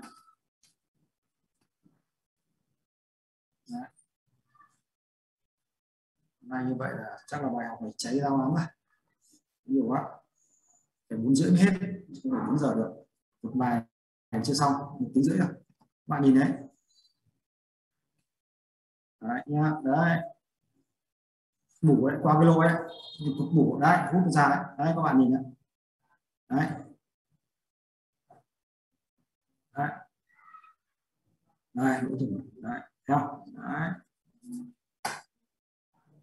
Nhá đấy cơ bản nó là như vậy.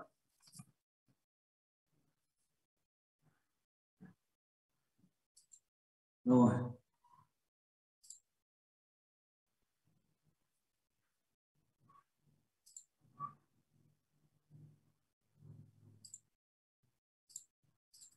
Quay trở lại bài. Các bạn có nhìn thấy bài không? Có nhìn thấy bài này không? Có ạ. Những cái xuất tiết này này. À, ok. À, một à, phần nữa tôi muốn giới thiệu cái phần về viêm tay giữa ngoài cái bài viêm cấp ngủ này cái phần viêm giữa xuất tiết tức là gì nó cũng do tắc vòi nhĩ Đấy. nhưng mà do cái thay đổi áp lực như tôi vừa nói vậy là tôi đi máy bay Đấy, ví dụ như gặp cảm cúm chẳng hạn hoặc là do quá phát của chức thành phố tức là VA à, nó to vẫn thế Đấy. nhưng mà gì bệnh nhân chỉ đau ít thôi đau tức trong tai thôi nhưng mà nghe kém rất là rõ Đấy.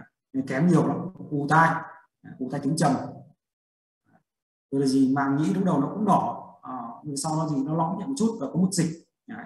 nhưng mà quan trọng nhất là cái van Sava âm tính tức là niệm pháp van Sava là các bạn làm này các bạn ờ, hít hơi ngậm mồm bịt mũi dặn hơi mạnh ra tai.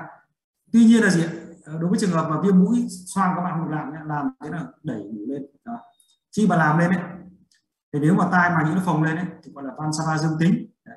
thông thường các biện pháp mà dương tính thì là đều có bệnh nhưng mà trường hợp mà van Sava gì dương tính ở đây thì lại bình thường mà van Sava âm tính thì là có bệnh thật là tắc bỏ nhĩ nó có thể tự khỏi các bạn đi máy bay các bạn biết rồi hoặc các bạn lặn xuống sâu ấy nhá hoặc là gì? Nó tiến triển thành mãn tính nó tạo thành viêm tai dính.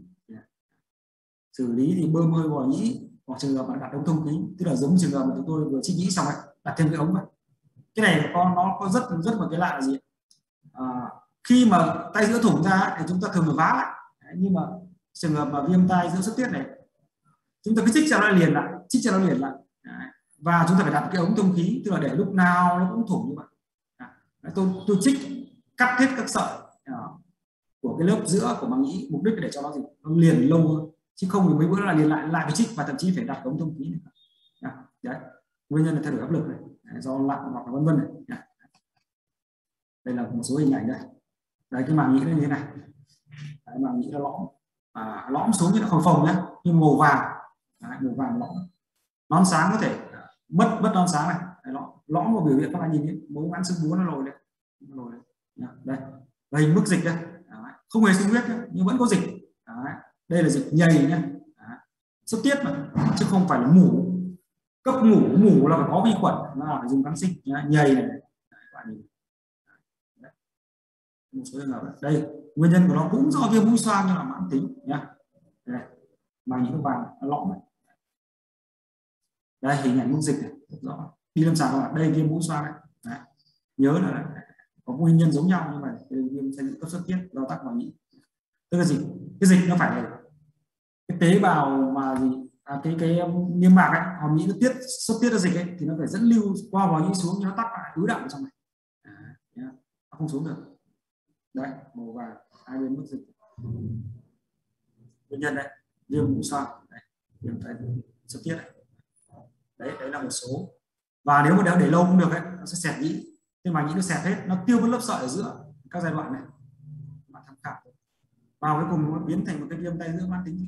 Nguy hiểm thành cholesterol cái bài tính đối diện các bạn sau. Và đây là trường hợp chấn thương à, thủng màng nhĩ. Cái này là do à, chấn thương âm tác tác nhau. Có thể là ngủ qua đây. À, xin lỗi là vi khuẩn xâm nhập qua đây vào cái nếu không điều trị. Cái viêm à, cái thủng màng nhĩ này thông thường tôi hay vá à, vá vào cái mảnh tỏi. Cái lớp áo gần sát cái phần thịt tôi bóc ra. Cái lớp này có tác dụng kháng sinh tôi dán vào đây. Dán vào nội soi dán vào thì nó, áp lực hầu như nó âm mà nó hút nó tạo thành cái cầu nối để sau cái màng nhĩ nó liền. Thông thường vá thì nó liền ngay. Chứ còn nếu không thì chúng ta phải để này không vá bệnh nhân vừa ù tay vừa anh ghé mà thì về sau mất cả một cuộc mổ gây mê. Rất nhiều. Rất nhiều bệnh nhân tôi vá cái kiểu này liền. Đây nhìn thấy máu đọng chấn thương đây viêm tay giữa gì xuất tiết thế thì à, đối với bài này phòng bệnh thì chúng ta phải làm gì? À, xì mũi đúng cách này điều trị triệt để viêm mũi họng à, viêm mũi xoang này. À, rồi là gì? Khám mà nhĩ khi mà gì à, trẻ em ấy có viêm mũi họng các bác sĩ nhi bây giờ là sắm mỗi người một cái máy nội soi. À, trẻ viêm mũi họng nhiều lắm bắt buộc phải khám à, khám màng nhĩ trẻ em.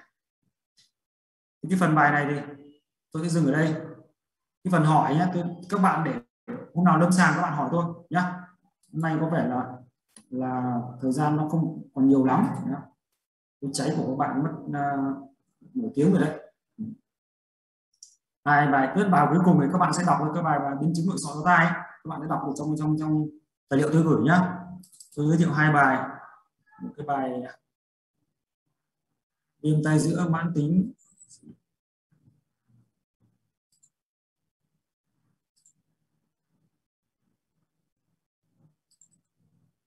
bạn nhìn được chưa? Có nhìn được không? Được rồi à, tay giữa mãn tính là không nguy hiểm. À, tôi giới thiệu sơ qua này nha các bạn phải đọc là chính nhá. Thế nào là mãn tính? Đấy. bạn uh, Phan Hoàng Hải à thế nào là bệnh mãn tính? Định nghĩa được không? Bạn Hải có không? Bạn này là lại ra ngoài rồi lớp trưởng như giúp tôi cái. Vũ Thị Nhẫn. Bạn Nhẫn có không?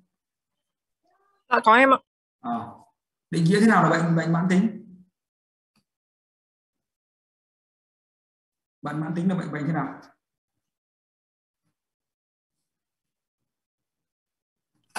Em thấy là mãn em theo em là mãn tính là nó kéo dài và nó hay tái đi tái lại ạ à rồi cảm ơn bạn. Ừ. Đúng rồi. Mãn tính là bệnh tái đi tái lại nhá. Và kéo dài. Đấy. Thế nhưng mà gì? À, trong cái viêm tay giữa mãn này đấy à, bệnh chảy tay kéo dài tại sao nó lại hơn 3 tháng? Thực ra cái này ấy, là do cái hiệp hội phẫu thuật và tai họng đầu cổ của Mỹ người ta quy định thôi nhá. Tư gì? Chảy lỗ tai thì kéo dài trên 12 tuần hay là 3 tháng ấy nó liên quan đến bệnh lý của niêm mạc đường hô hấp các bệnh hô hấp nói chung là viêm mũi xoang cũng vậy cứ trên 3 tháng là mãn tính. Đấy. rồi thì tái đi tái lại vân vân. Cái trong bệnh bệnh án thì tôi sẽ tuần sau bệnh bệnh án một cái bài bài tiếp tai tôi sẽ bình luận cho các bạn. À, viêm tay giữa mãn là thế này kéo dài trên 3 tháng và gì bệnh thấy thế lại. Nhưng mà nó không nguy hiểm ở chỗ là gì? Bệnh tích nó chỉ khu trú ở niêm mạc thôi. Đó. tức là không tổn thương đến xương nhá nhưng mà tổn thương đến xương là thành gì? Nguy hiểm. Thế thôi Đó. chỉ nguy hiểm mà không nguy hiểm. Nhưng mà để biết à, có tổn thương niêm mạc không phải cả vấn đề. Xin lỗi các bạn.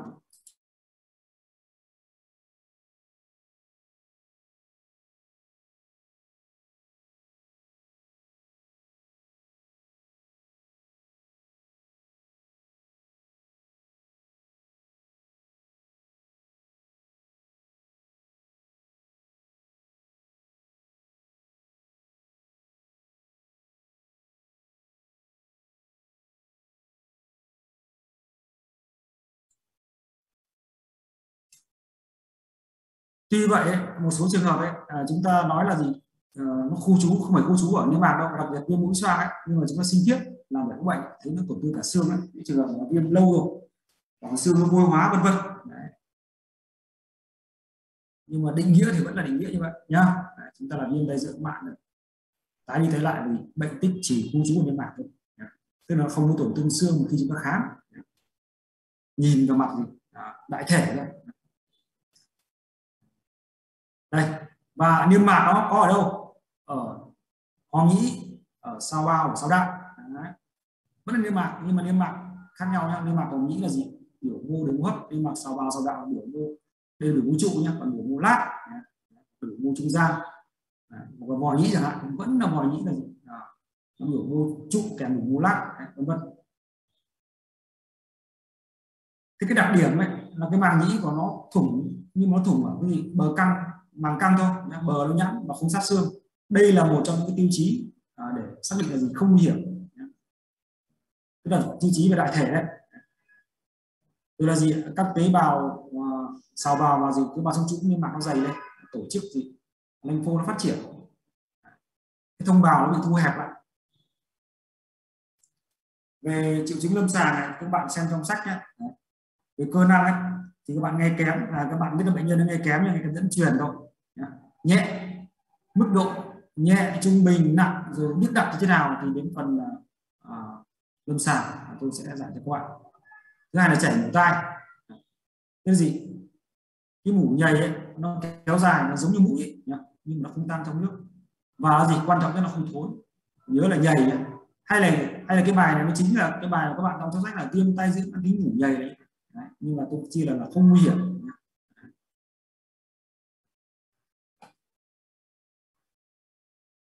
về cái thực thể à, cái lỗ thủng của nó thì nó ở cái góc mà một phần tư trước dưới. Đấy, góc này không có xương. Đấy. bờ nó nhẵn và gì không sát xương. Và gì? Đáy hòm nhĩ thông thường nó sạch. Gọi là đáy hòm nhĩ chúng ta nhìn từ trên xuống dưới bệnh nhân hay nằm mà. Chúng tôi khám là mổ nằm lại nhìn trên dưới. Thì đáy hòm nhĩ chính là cái thành trong của cái hòm nhĩ. Và cái triệu chứng cận lâm sàng ấy thì thông thường tôi chụp uh, phim thông thường là phim phim tai phim suy đe thì sinh trũng nó kém phát triển thông bào không hình tu xương vân vân. Thì đây là hình ảnh tôi chụp suy đe nhưng mà nhưng mà cái, cái này chỉ là để à, tham khảo thôi bây giờ. Anh ở việt nam ngọc ít dùng cái này lắm nhá. À, đây là phim thông thường này còn đọc phim tôi sẽ có một buổi đọc phim riêng cho các bạn. Và thí nhập đồ cũng như vậy một buổi đọc phim đồ riêng. Và tôi cho các bạn xem dưới hình ảnh thôi nhé đây là đấy tay tay phải bố ngăn xương búa này lỗ thủng nó rộng nhưng mà gì bờ nó nhẵn. Nó không nhăn được không sát xương. Đấy là có có dịch nhầy này. Đấy. đây trường hợp này. Đây là cái nán xương búa này vẫn còn này. Nhá đây này. Bờ nhẵn lỗ thủng đây trước khi mà rửa đây sau rửa đây đây tay bên trái đây, tay bên phải. Lỗ thủng nhỏ hơn. Đấy. tính không nguy hiểm. Đây trường hợp này. Thủng rất rộng à, có mủ nhưng mà gì vẫn là viêm tai giữa mãn tính không hiểu à, nguyên nhân đây. Viêm mũi xoang. À, mủ trong lỗ thủng xoang đây. Lỗ thủng rất bé. Đây trường hợp này. Đấy. cái trường hợp này những trường hợp lỗ thủng này vá rất khó liền. Bởi vì sao? Cái dinh dưỡng của màng nhĩ nó kém. Đấy. đây đây. Đây là cái mảng gọi là mảnh vô hóa. Các bạn nhìn cứ bệnh nhân nào mà khám có mảnh này chắc chắn đã một lần viêm tay giữa rồi viêm giữa cấp mà rồi ấy, cấp ngủ xong rồi khỏi bao giờ nó hay để vôi hóa này và cái mảnh vôi hóa này này nó làm cái màng những rung động kém bệnh nhân sẽ nghe kém. Dạ. Đây bên tay giữa ờ, giai đoạn là mãn là cấp này có mủ này và đây là một ờ, sản phẩm của y học cổ truyền tôi chả biết là bệnh nhân à, được thổi cái gì vào tai tôi rửa mãi không hết. Đấy. nhìn cá múa này có vẻ nhưng mà ờ, mà nhĩ thủng rất rộng cán múa vẫn còn. Còn đây là cái viêm cũ. Đây là đây là lỗ thủng này, hay cái sẹo. Xin lỗi, đây là cái vôi hóa của vôi hóa. Vôi hóa của nó. Đây, trường hợp này điển hình nhất này. Đây tay bên phải này, nó sáng tay bên trái này. Đây là nội soi từ bên mũi trái vào, các bạn nhìn đấy tại sao nội soi vòm mà nhìn thấy cái lỗ thông vòi sẽ có nguyên nhân đây không? Nhá lỗ thông rất là rộng. Đấy. nhưng mà gì bên mũi bên trái này có nguyên nhân này. Đây cái vách ngăn này nó có cái màu vách ngăn. Đấy, nó chạm vào cuốn mũi à, cuốn giữa dưới nhá. Gây hẹp.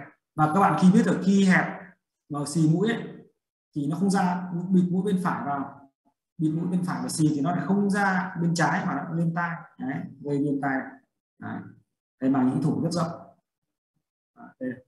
nhìn thấy cả cái lấp đó cái thành xuống của xương đe nó khớp đây là cắm búa đây là cái phần xương này, bạn nhìn cái xương của thành trong hòm nhĩ cơ sở vô dụng cơ sở tròn lớp cơ tròn ở trên này.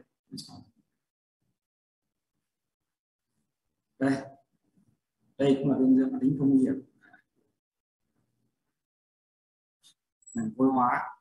Bắt buộc phải soi vòm tìm nguyên nhân nhé và nếu mà trước chưa chưa có nội soi ấy, chúng tôi so với đèn pla chúng tôi rất hay uh, gọi là tranh cãi về vấn đề là màng nhĩ có thủng hay không. Thực ra đây là một cái sẹo có thủng tức là màng nhĩ đã thủng liền rồi. Sau đó thì gì? À, nhưng mà liền nó không phải liền cả ba lớp đâu nhá. Màng nhĩ liền cái lỗ sẹo có thủng này chỉ có hai lớp thôi. Đấy là lớp biểu bì và lớp. Nhưng mà còn lại mất lớp sợi và một số trường hợp uh, bệnh nhân đến khám ấy bác sĩ muốn phân biệt là có phải có lỗ thủng hay là không ấy làm nó van, van sava thì bệnh nhân lại thủng trở lại. Nên thổi van sava nghe bụp một cái bệnh nhân lại nghe kém. Và tôi đã gặp rồi. Nhưng mà thì ờ, hai ba tuần sau bệnh nhân quay lại thì lại tự liền thì nó lại liền. Đúng chỗ này soi thì bệnh nhân không có vòm biết không thanh quản này. trước trước đèn cờ la là cứ tranh cãi nhiễm thủng hay là sẹo đấy xem rồi. Các bạn xem rồi. Ok. Và đây à, trường hợp là gì? À, nó không thủng đâu nhưng mà là gì? Nó xẹp kỹ này thành viêm đây giữa mang tính nguy hiểm đấy. Các bạn là cái bài sau. Lỗ thủng rất rộng nhưng mà là gì? Nó liền được. Các bạn nhìn này. Đấy. sẹo lỗ thủng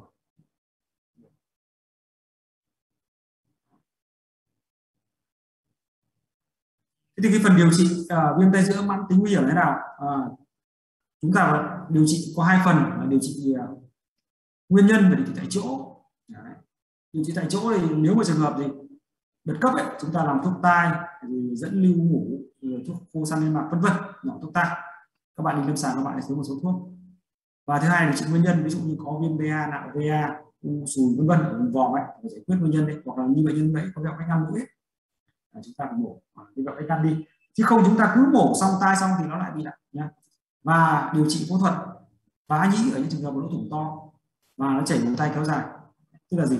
Để nó thủng ấy, thì nguyên nhân sẽ trực tiếp từ ngoài qua lỗ thủng vào trong tay giữa cái viêm thì chúng ta phải vá lại để chế bớt viêm. Nhưng một số một số trường hợp vá vào hay không liền thì sao? Vá vào thì cái vòi nhĩ nó dẫn lưu kém nó lại đi lại. Tôi đã gặp bệnh nhân rồi. Một bên thì tai thì cứ chích ra trên cùng bệnh nhân ấy thì nó lại liền lại và ngược lại một tai cứ vá nó lại thủng ra. Trên cùng bệnh nhân ấy chứ không phải hai bệnh nhân khác nhau. Thì cũng như cái bài trước ấy thì uh, các bạn có câu hỏi nào thì dành cho tôi tuần sau đây. Tuần sau là chúng ta đi lâm sàng đúng không bạn lớp trưởng nhỉ? Dạ vâng ạ. Bạn lớp trưởng bạn ấy ao thì sao ấy? Tôi thấy không, một trăm ơi, một à. cái à. lịch lịch đi lâm sàng này thì em nếu mà xem dịch như nào thế thì thầy sẽ sẽ báo lại cho bên em. Lịch lâm sàng là tôi đã gửi lịch hết cho các bạn mà cán bộ lớp phụ trách học tập rồi. Lịch, thôi. lịch thì có rồi à nhưng mà ừ. như thầy nói là sẽ học Đó, online trong một hỏi tuần. xem là các bạn nắm được không thôi nhá. Đó vâng ạ bọn em có rồi ừ. các bạn gì nhé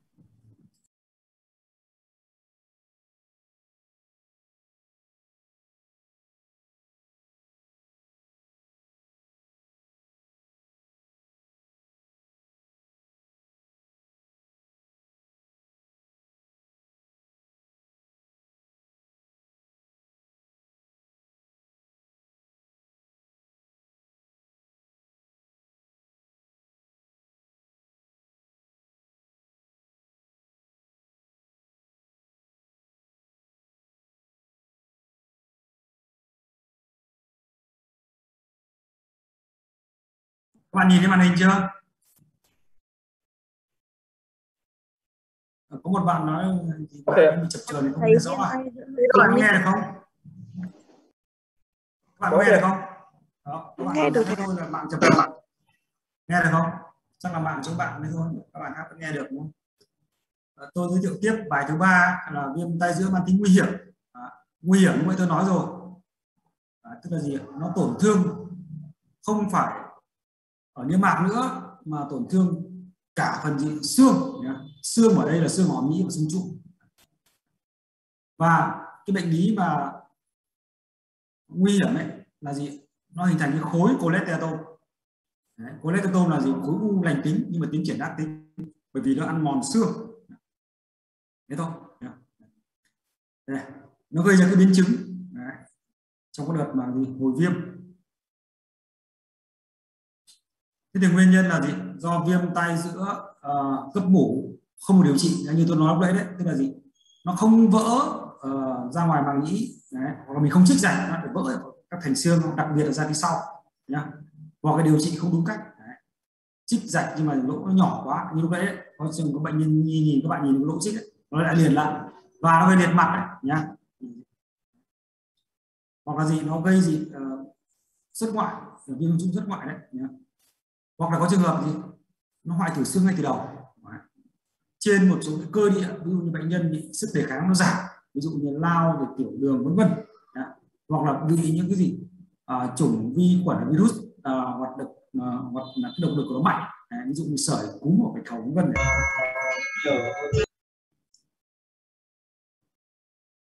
hoặc là có trường hợp nó gì ạ? Nó mãn tính ngay từ đầu tức là bệnh nhân không để ý đâu.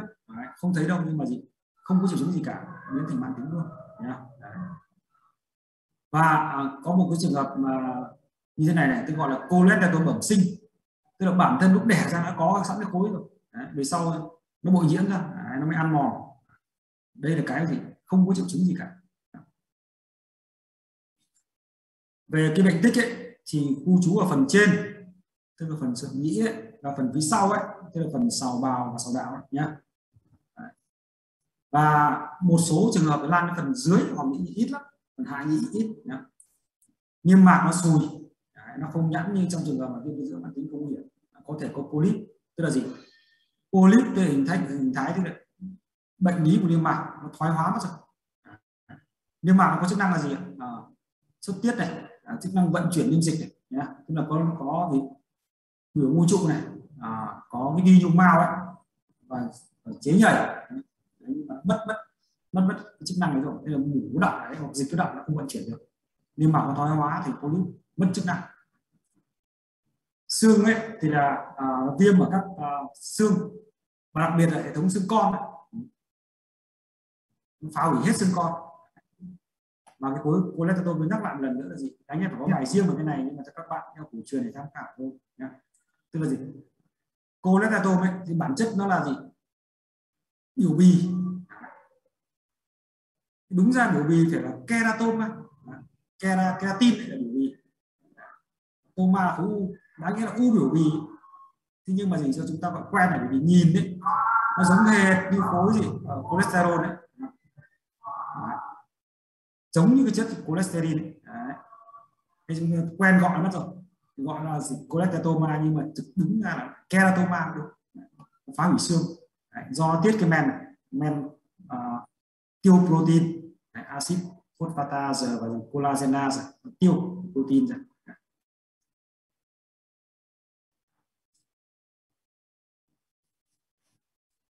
Triệu chứng thì cũng giống như viêm tay giữa mãn tính thì không nguy hiểm tức là hai có triệu chứng là chảy mủ tai và gì à, cơ năng ấy, chảy mủ tai và cái gì thứ hai là gì cái chứng toàn là thực thể là lỗ thủng. Ví dụ đặc điểm của chảy mủ tai ở đây nó thế nào? Mủ nó đặc đặc tức là gì? Đặc có vi khuẩn rồi nhá hoặc là loãng nhưng mà có các hình vón cục. Cholesterol một vón cục ấy nó màu xanh màu vàng. Trường hợp mà gì? À, có thể lẫn cả máu. Và đặc biệt cái chất cái cái cholesterol ấy thì nó óng ánh như mỡ này. Rửa tay có vẩy như xà cừ. Và cái mủ này nó có mùi thối. Các bạn à, không biết đi lâm sàng các bạn có được gặp cái trường hợp mà áp xe ruột thừa hay không? Nó thối như nào thối đúng như thế còn trường hợp tối tai các bạn đi qua cái người cái mùi thối rồi. Nhá khẳng. Tức là mù nó gì? Chảy mù vàng đậm có gì có mùi thối. Và nghe kém ấy, nghe kém đây nó nghe tăng dần, lúc đầu nó kém nhẹ, về sau gì kém tăng dần. Lúc đầu là truyền âm, tức là mới ở tay giữa thôi. Dần dần sẽ, sau hỗn hợp, bắt đầu vào đây trong và cuối cùng thì đi tiếp nhận, tức là tổn thương hết ở tay trong yeah. ù tai, đương nhiên rồi. Có thể có chóng mặt, chóng nhặt, mặt nó tổn thương vào đâu rồi? Ở tay trong rồi đấy ở tiền đình rồi và đau tai thì thông thường nó không rõ đâu. Bệnh nhân có thể đau đầu. Nhưng mà trường hợp mà đau đầu này bắt đầu biểu hiện này biến chứng rồi đấy về khám thực thể đi lâm sàng các bạn sẽ hỏi thầy cô nhé ấn điểm sò vào ở đâu? À, khi mà gì bệnh nhân đến ấy mà có biểu hiện của viêm tay giữa mãn tính nguy hiểm đấy ấn điểm sò vào là góc sau trên của ống tay ngoài nhé. Đấy. chỉ giai đoạn đầu viêm thì mới đau thôi. Lúc viêm lại rồi là gì khi mà nội soi tai thì các bạn để ý mủ. À. Có chất à, cholesterol không hoặc là gì có cái gì? Polyp. Che mất cái tầm ống tai. Bây cho các bạn xem polyp che hết. Nếu mà nhìn thấy lỗ thủng ấy thì gì ạ? Thông thường lỗ thủng nó không phải góc một phía trước giới đâu mà nó góc ở sau trên thôi. Đấy, tức là tổn thương ở gì? Ở xương. Và nó ngoạm mà không xương này hoặc là lỗ thủng ở cái phần màng trùng ấy thẩm phía trên đấy. Hoặc là thượng nhĩ, nó làm thủng ở tường thượng nhĩ hoặc là gì? Thủng toàn bộ cái bờ căng nhưng mà bờ nó nhăm nhở. Và cái bờ là gì? Ngoạn mà không xương hoặc cụt cắn búa ví dụ cho các bạn xem.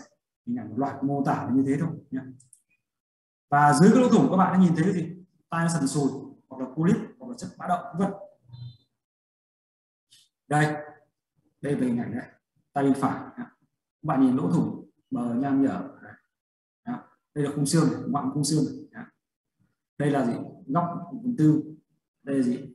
Sau dưới bắt đầu gì? Lan lên gì? Sau trên. Bắt đầu. Đấy, các bạn nhìn đây là gì? Tay bên trái này tay bên phải. Đây là phần thượng nhĩ. Không còn tí siêu con nào hết sạch. Này các bạn nhìn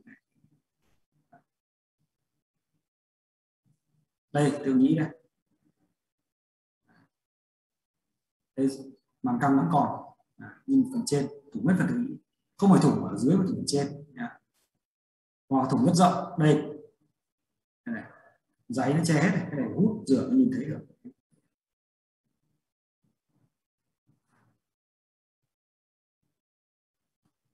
Đây này thủng phần thượng nhĩ này các bạn đấy không nhận ra thêm là nhĩ nữa. Nhá. đây là mảnh vôi hóa đây là phần thượng nhĩ đây. Đây là đây là gì? Cái tay đây là tay trái và tay phải. Các bạn nhìn thấy Đấy, thủng rộng không nhìn không nhận ra cái tay nữa và đặc biệt cái chất cholesterol của bạn nhìn này nó giống như chất bã động đấy, đấy. đấy. nó nằm trong hòm nhĩ này đây là ăn mòn. Đây là cắn búa ăn mòn xương cắn búa. Cholesterol. Đã cholesterol này thì điều trị nó khác. Đây phần thủng phần thượng nhĩ này lỗ thủng rất rộng to mất hết phần xương con ở trên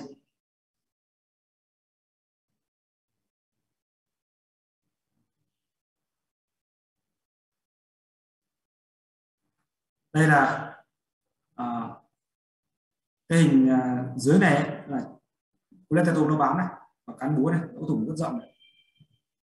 đây là lỗ ngoài nhĩ này đây là cửa sổ tròn này cửa sổ bầu dục ở đây này. khi mà lấy hết cholesterol các bạn nhìn thấy hành xuống một xương đen đây. Không khớp đè đạp các bạn nhìn đây hành xuống xương đen bị ăn mòn này.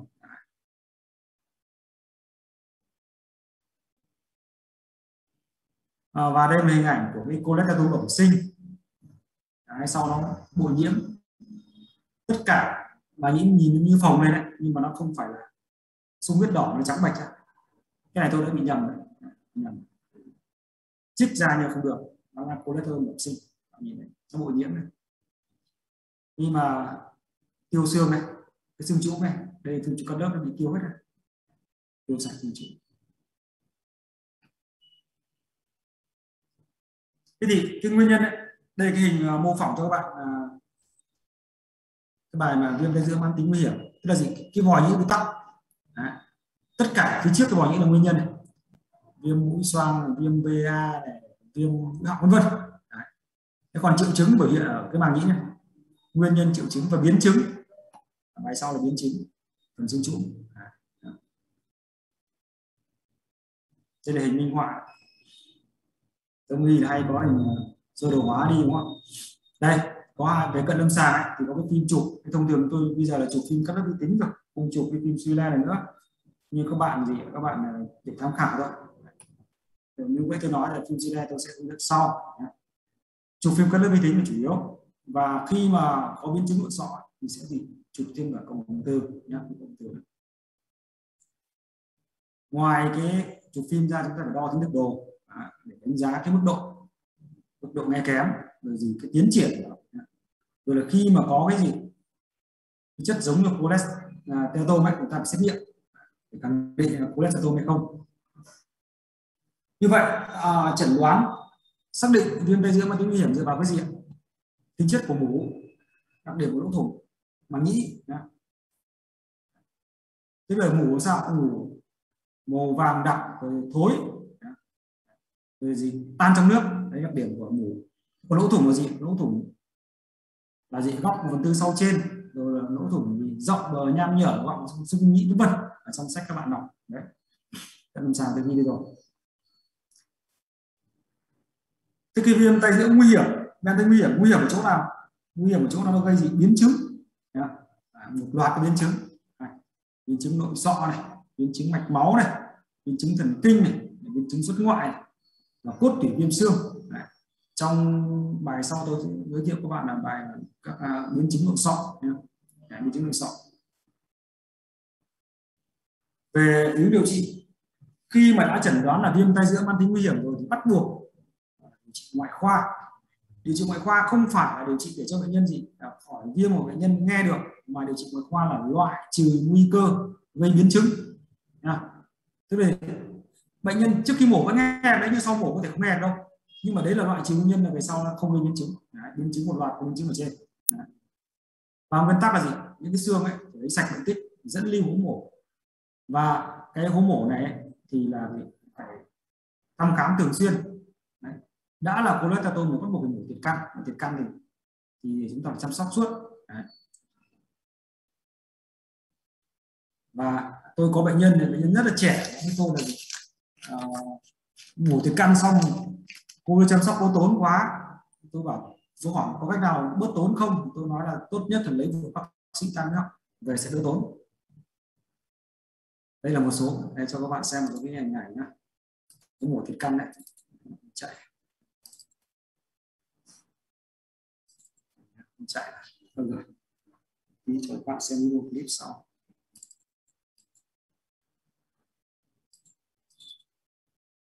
Các bạn nhìn được không?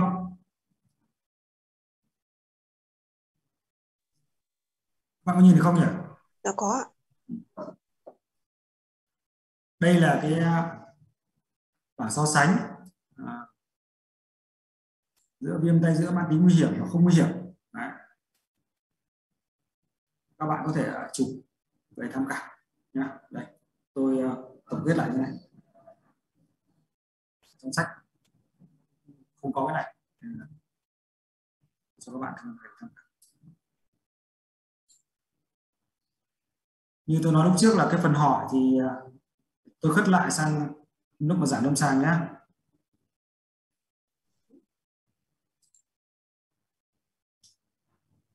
Tốt một bài nữa, tôi trao đổi các bạn cái bài này với các bạn là về đọc sách cho tôi đi. Giờ là hết đấy. Sách giúp tôi cái.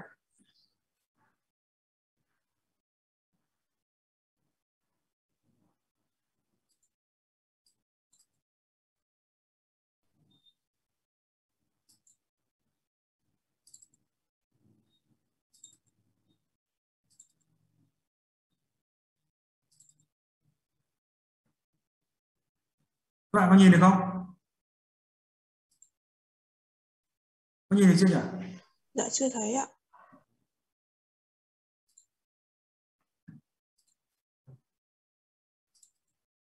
Thấy chưa? Rồi đúng không? Thấy rồi ạ.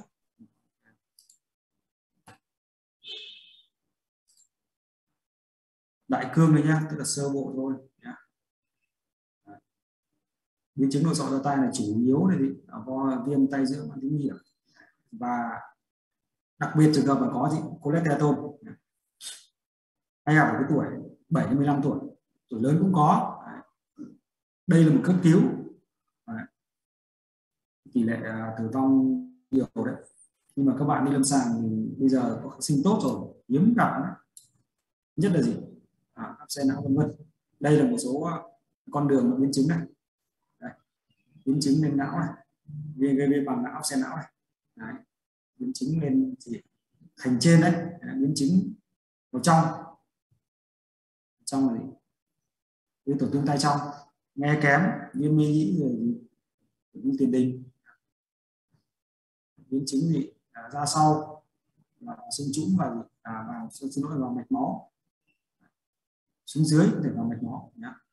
ra trước à, vào mạch cảnh trong là gì ạ? À, thành trong này gây gì? Liệt mặt. Tổn thương thứ bảy.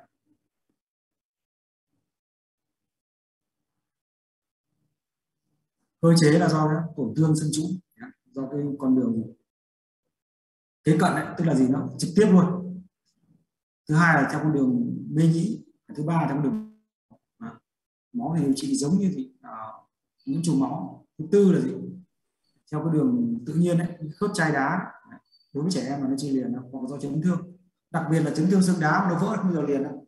Bởi vì xương đá nó không có giai đoạn tạo cốt bào nó chỉ có hủy cốt bào. Đó. Nên đường vỡ nó không bao giờ liền được cả. Đặc biệt là xương đá. Hay những người xương đá vỡ xương đá người ta có một sổ riêng ấy, chứ để nghĩ người ta có sổ riêng để theo dõi. Hay những biến chứng này bao gồm có viêm màng não này à, viêm tĩnh mạch bên này đặc biệt là viêm não áp xe à, đại não áp xe tiểu não. Còn chứng thần kinh à, liệt mặt viêm nhĩ vân vân. Thì à, các bạn đã học mà mà viêm màng não rồi à, áp xe não xe tiểu não rồi đúng không? Bạn bạn là lớp phó của thế học tập. Các bạn học chưa? Dạ về, về thần kinh thì giảng rồi Thế Du có giảng chưa có thầy có nói rồi. Giảng rồi đúng không? Các bạn Vâng. xem nhá. À, tôi chỉ sơ bộ thôi. Lướt lướt cái gì được tôi sẽ cho các bạn. Đây hình ảnh cho các bạn xem. Đây là biến chứng viêm tai dịch xuất ngoại sau thai. Nhưng mà đây là tai bên bên trái. Nhưng màng nhĩ nó lại bình thường. Bạn nhìn thấy không? Đây, đây. bình thường. Đấy. nhưng mà gì? Xuất ngoại. Thế thì đây đây là màng nhĩ bình thường này. Và giống như xuất ngoại. Đây là phân biệt đấy thì có thể viêm hạch thôi nhá. nhưng mà như bình thường nếu mà có viêm tai nó phải có tổn thương ở đây không có nhá. còn đây bệnh nhân đúng là viêm tai xuất xuất ngoại này. đây đi mổ ra rạch đây. Tí cho các bạn xem một số cái hình thể nội soi. Cái mủ ra này. Đấy. Đấy. Đây tay bên phải đúng tay phải luôn. Đi mổ này đấy mủ rất nhiều. Đấy sừng trũng này. Nào, phải quét sạch sừng chỗ này. Đây là cái phim. Nó tổn thương này này. đây là bình thường này. Đây là tổn thương này. Đấy, hốc.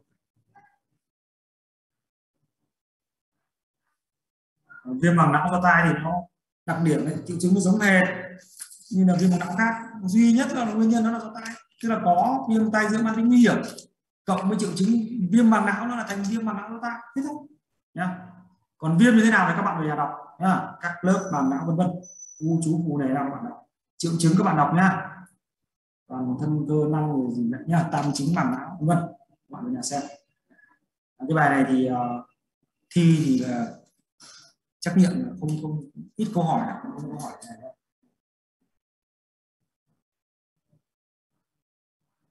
tính dương tính kết nét dương tính vân vân. Theo các con đường các bạn phải đọc nha chứng thứ hai ấy, là gì? À, viêm tĩnh mạch bên do tai. Viêm tĩnh mạch bên tức là gì? Nhiễm trùng máu đấy. Dạ. Điều trị giống như cái nhiễm trùng máu dạ. có mấy mấy mấy mức đấy. Dạ. thì vẫn bắt buộc phải loại mổ tai để loại trừ cái nguyên nhân. Có sốt cao rét run pháp để quick testing stocking dương tính vân vân. Các bạn xem lại xem. Cái bài soạn này phần mềm tôi đã gửi cho bạn thứ ba là áp xe não do thai. Có ba giai đoạn. À, giai đoạn viêm giai đoạn hình ổ áp xe tức là áp xe non đấy áp xe già nang hóa. Mỗi cái giai đoạn là khác nhau. Thông thường nó đi theo con đường tiếp cận tức là gì? Cái khối cholesterol ăn mòn xương mà nó gây à, áp xe não luôn. Hoặc đi theo đường máu. Nó có mấy hội chứng đấy? Hội chứng nhiễm trùng hội chứng tăng lực nội sọ hội chứng thần kinh khu trú. Thì à, đối với các bạn là thầy du đã giảng rồi đúng không ạ? Mất ngôn ngữ kiểu Vernix à, tức là gì? Bạn học thần kinh các bạn uh, bạn bạn lớp trưởng. Thầy du giảng phần này chưa? Thầy giảng rồi thầy ạ. À, tức là tổn thương à, tổn thương vùng nào cái này có sẽ tổn thương ở vùng uh, tiền đình ốc tai ở chính ở vùng không đây không phải đây là đây là áp xe não rồi tổn thương vùng não nhá. Tức là kể cả tai biến cũng vậy nhá. Tổn thương vùng Broca thì nó sẽ như thế nào? Đây là tôi nói qua một thứ liên quan đến cái từ điếc nhức lời. Hoặc là gì. À tổn thương cửa Wernicke này. Thầy du thầy du nói rồi đúng không? Thần kinh rất là khó. Nhỉ tức là gì? À, mất ngôn ngữ kiểu Wernicke này không phải tổn thương vùng ca nhưng vùng dưới. Nhá rõ ràng là gì? À, tức là có hai cái một là biết lời hai là mù lời. Tức là bệnh nhân thì vẫn nói được bình thường. Đấy. thế nhưng mà mù lời tức là gì? Không biết tức là gì? Không biết mô tả nó như thế nào. Không tỉnh mù lời. Đấy là gì? Vernix thế còn biết lời? Biết lời tức là bệnh nhân gì? À, bệnh nhân nghe được. Đây là bệnh nhân nghe được. Đấy, nhưng mà không nói được. À, hiểu hết không hề nói được đây là đấy là biết lời của đây là mù lời nói được nhưng mà không tìm được cách khác nhau. Thần kinh này rất là phức tạp đúng không? tiểu não là có chóng mặt vân vân. Đây đây tôi cho các bạn xem đây là hình ảnh mà viêm tay giữa mãn tính uh, nguy hiểm này polyp này polyp ống tay ngoài che kín luôn. Đây là mổ dính trúng này. Và chọc hút mổ đây có chọc hút là tức là gì? À, ổ áp xe đấy. Đấy. Tí cho các bạn xem một số hình ảnh nội soi của cái à, chẩn đoán áp xe não nhé Đấy, áp xe não do tai. Mổ phẫu thuật tiết canh vân vân. Để các bạn xem.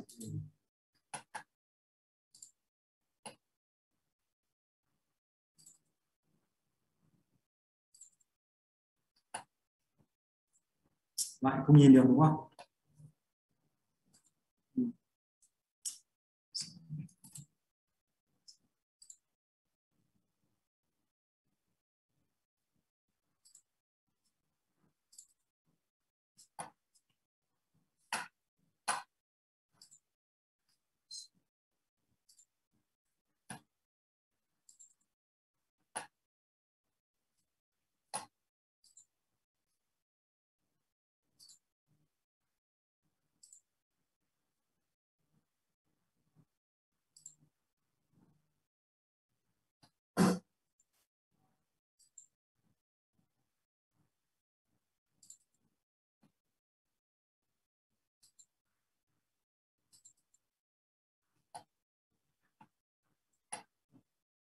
Cũng được à?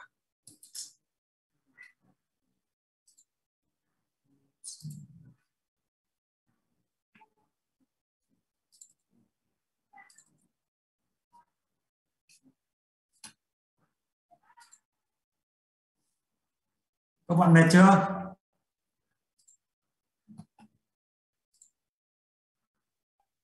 Cái hình uh, áp xe não này để tôi cho các bạn xem sau.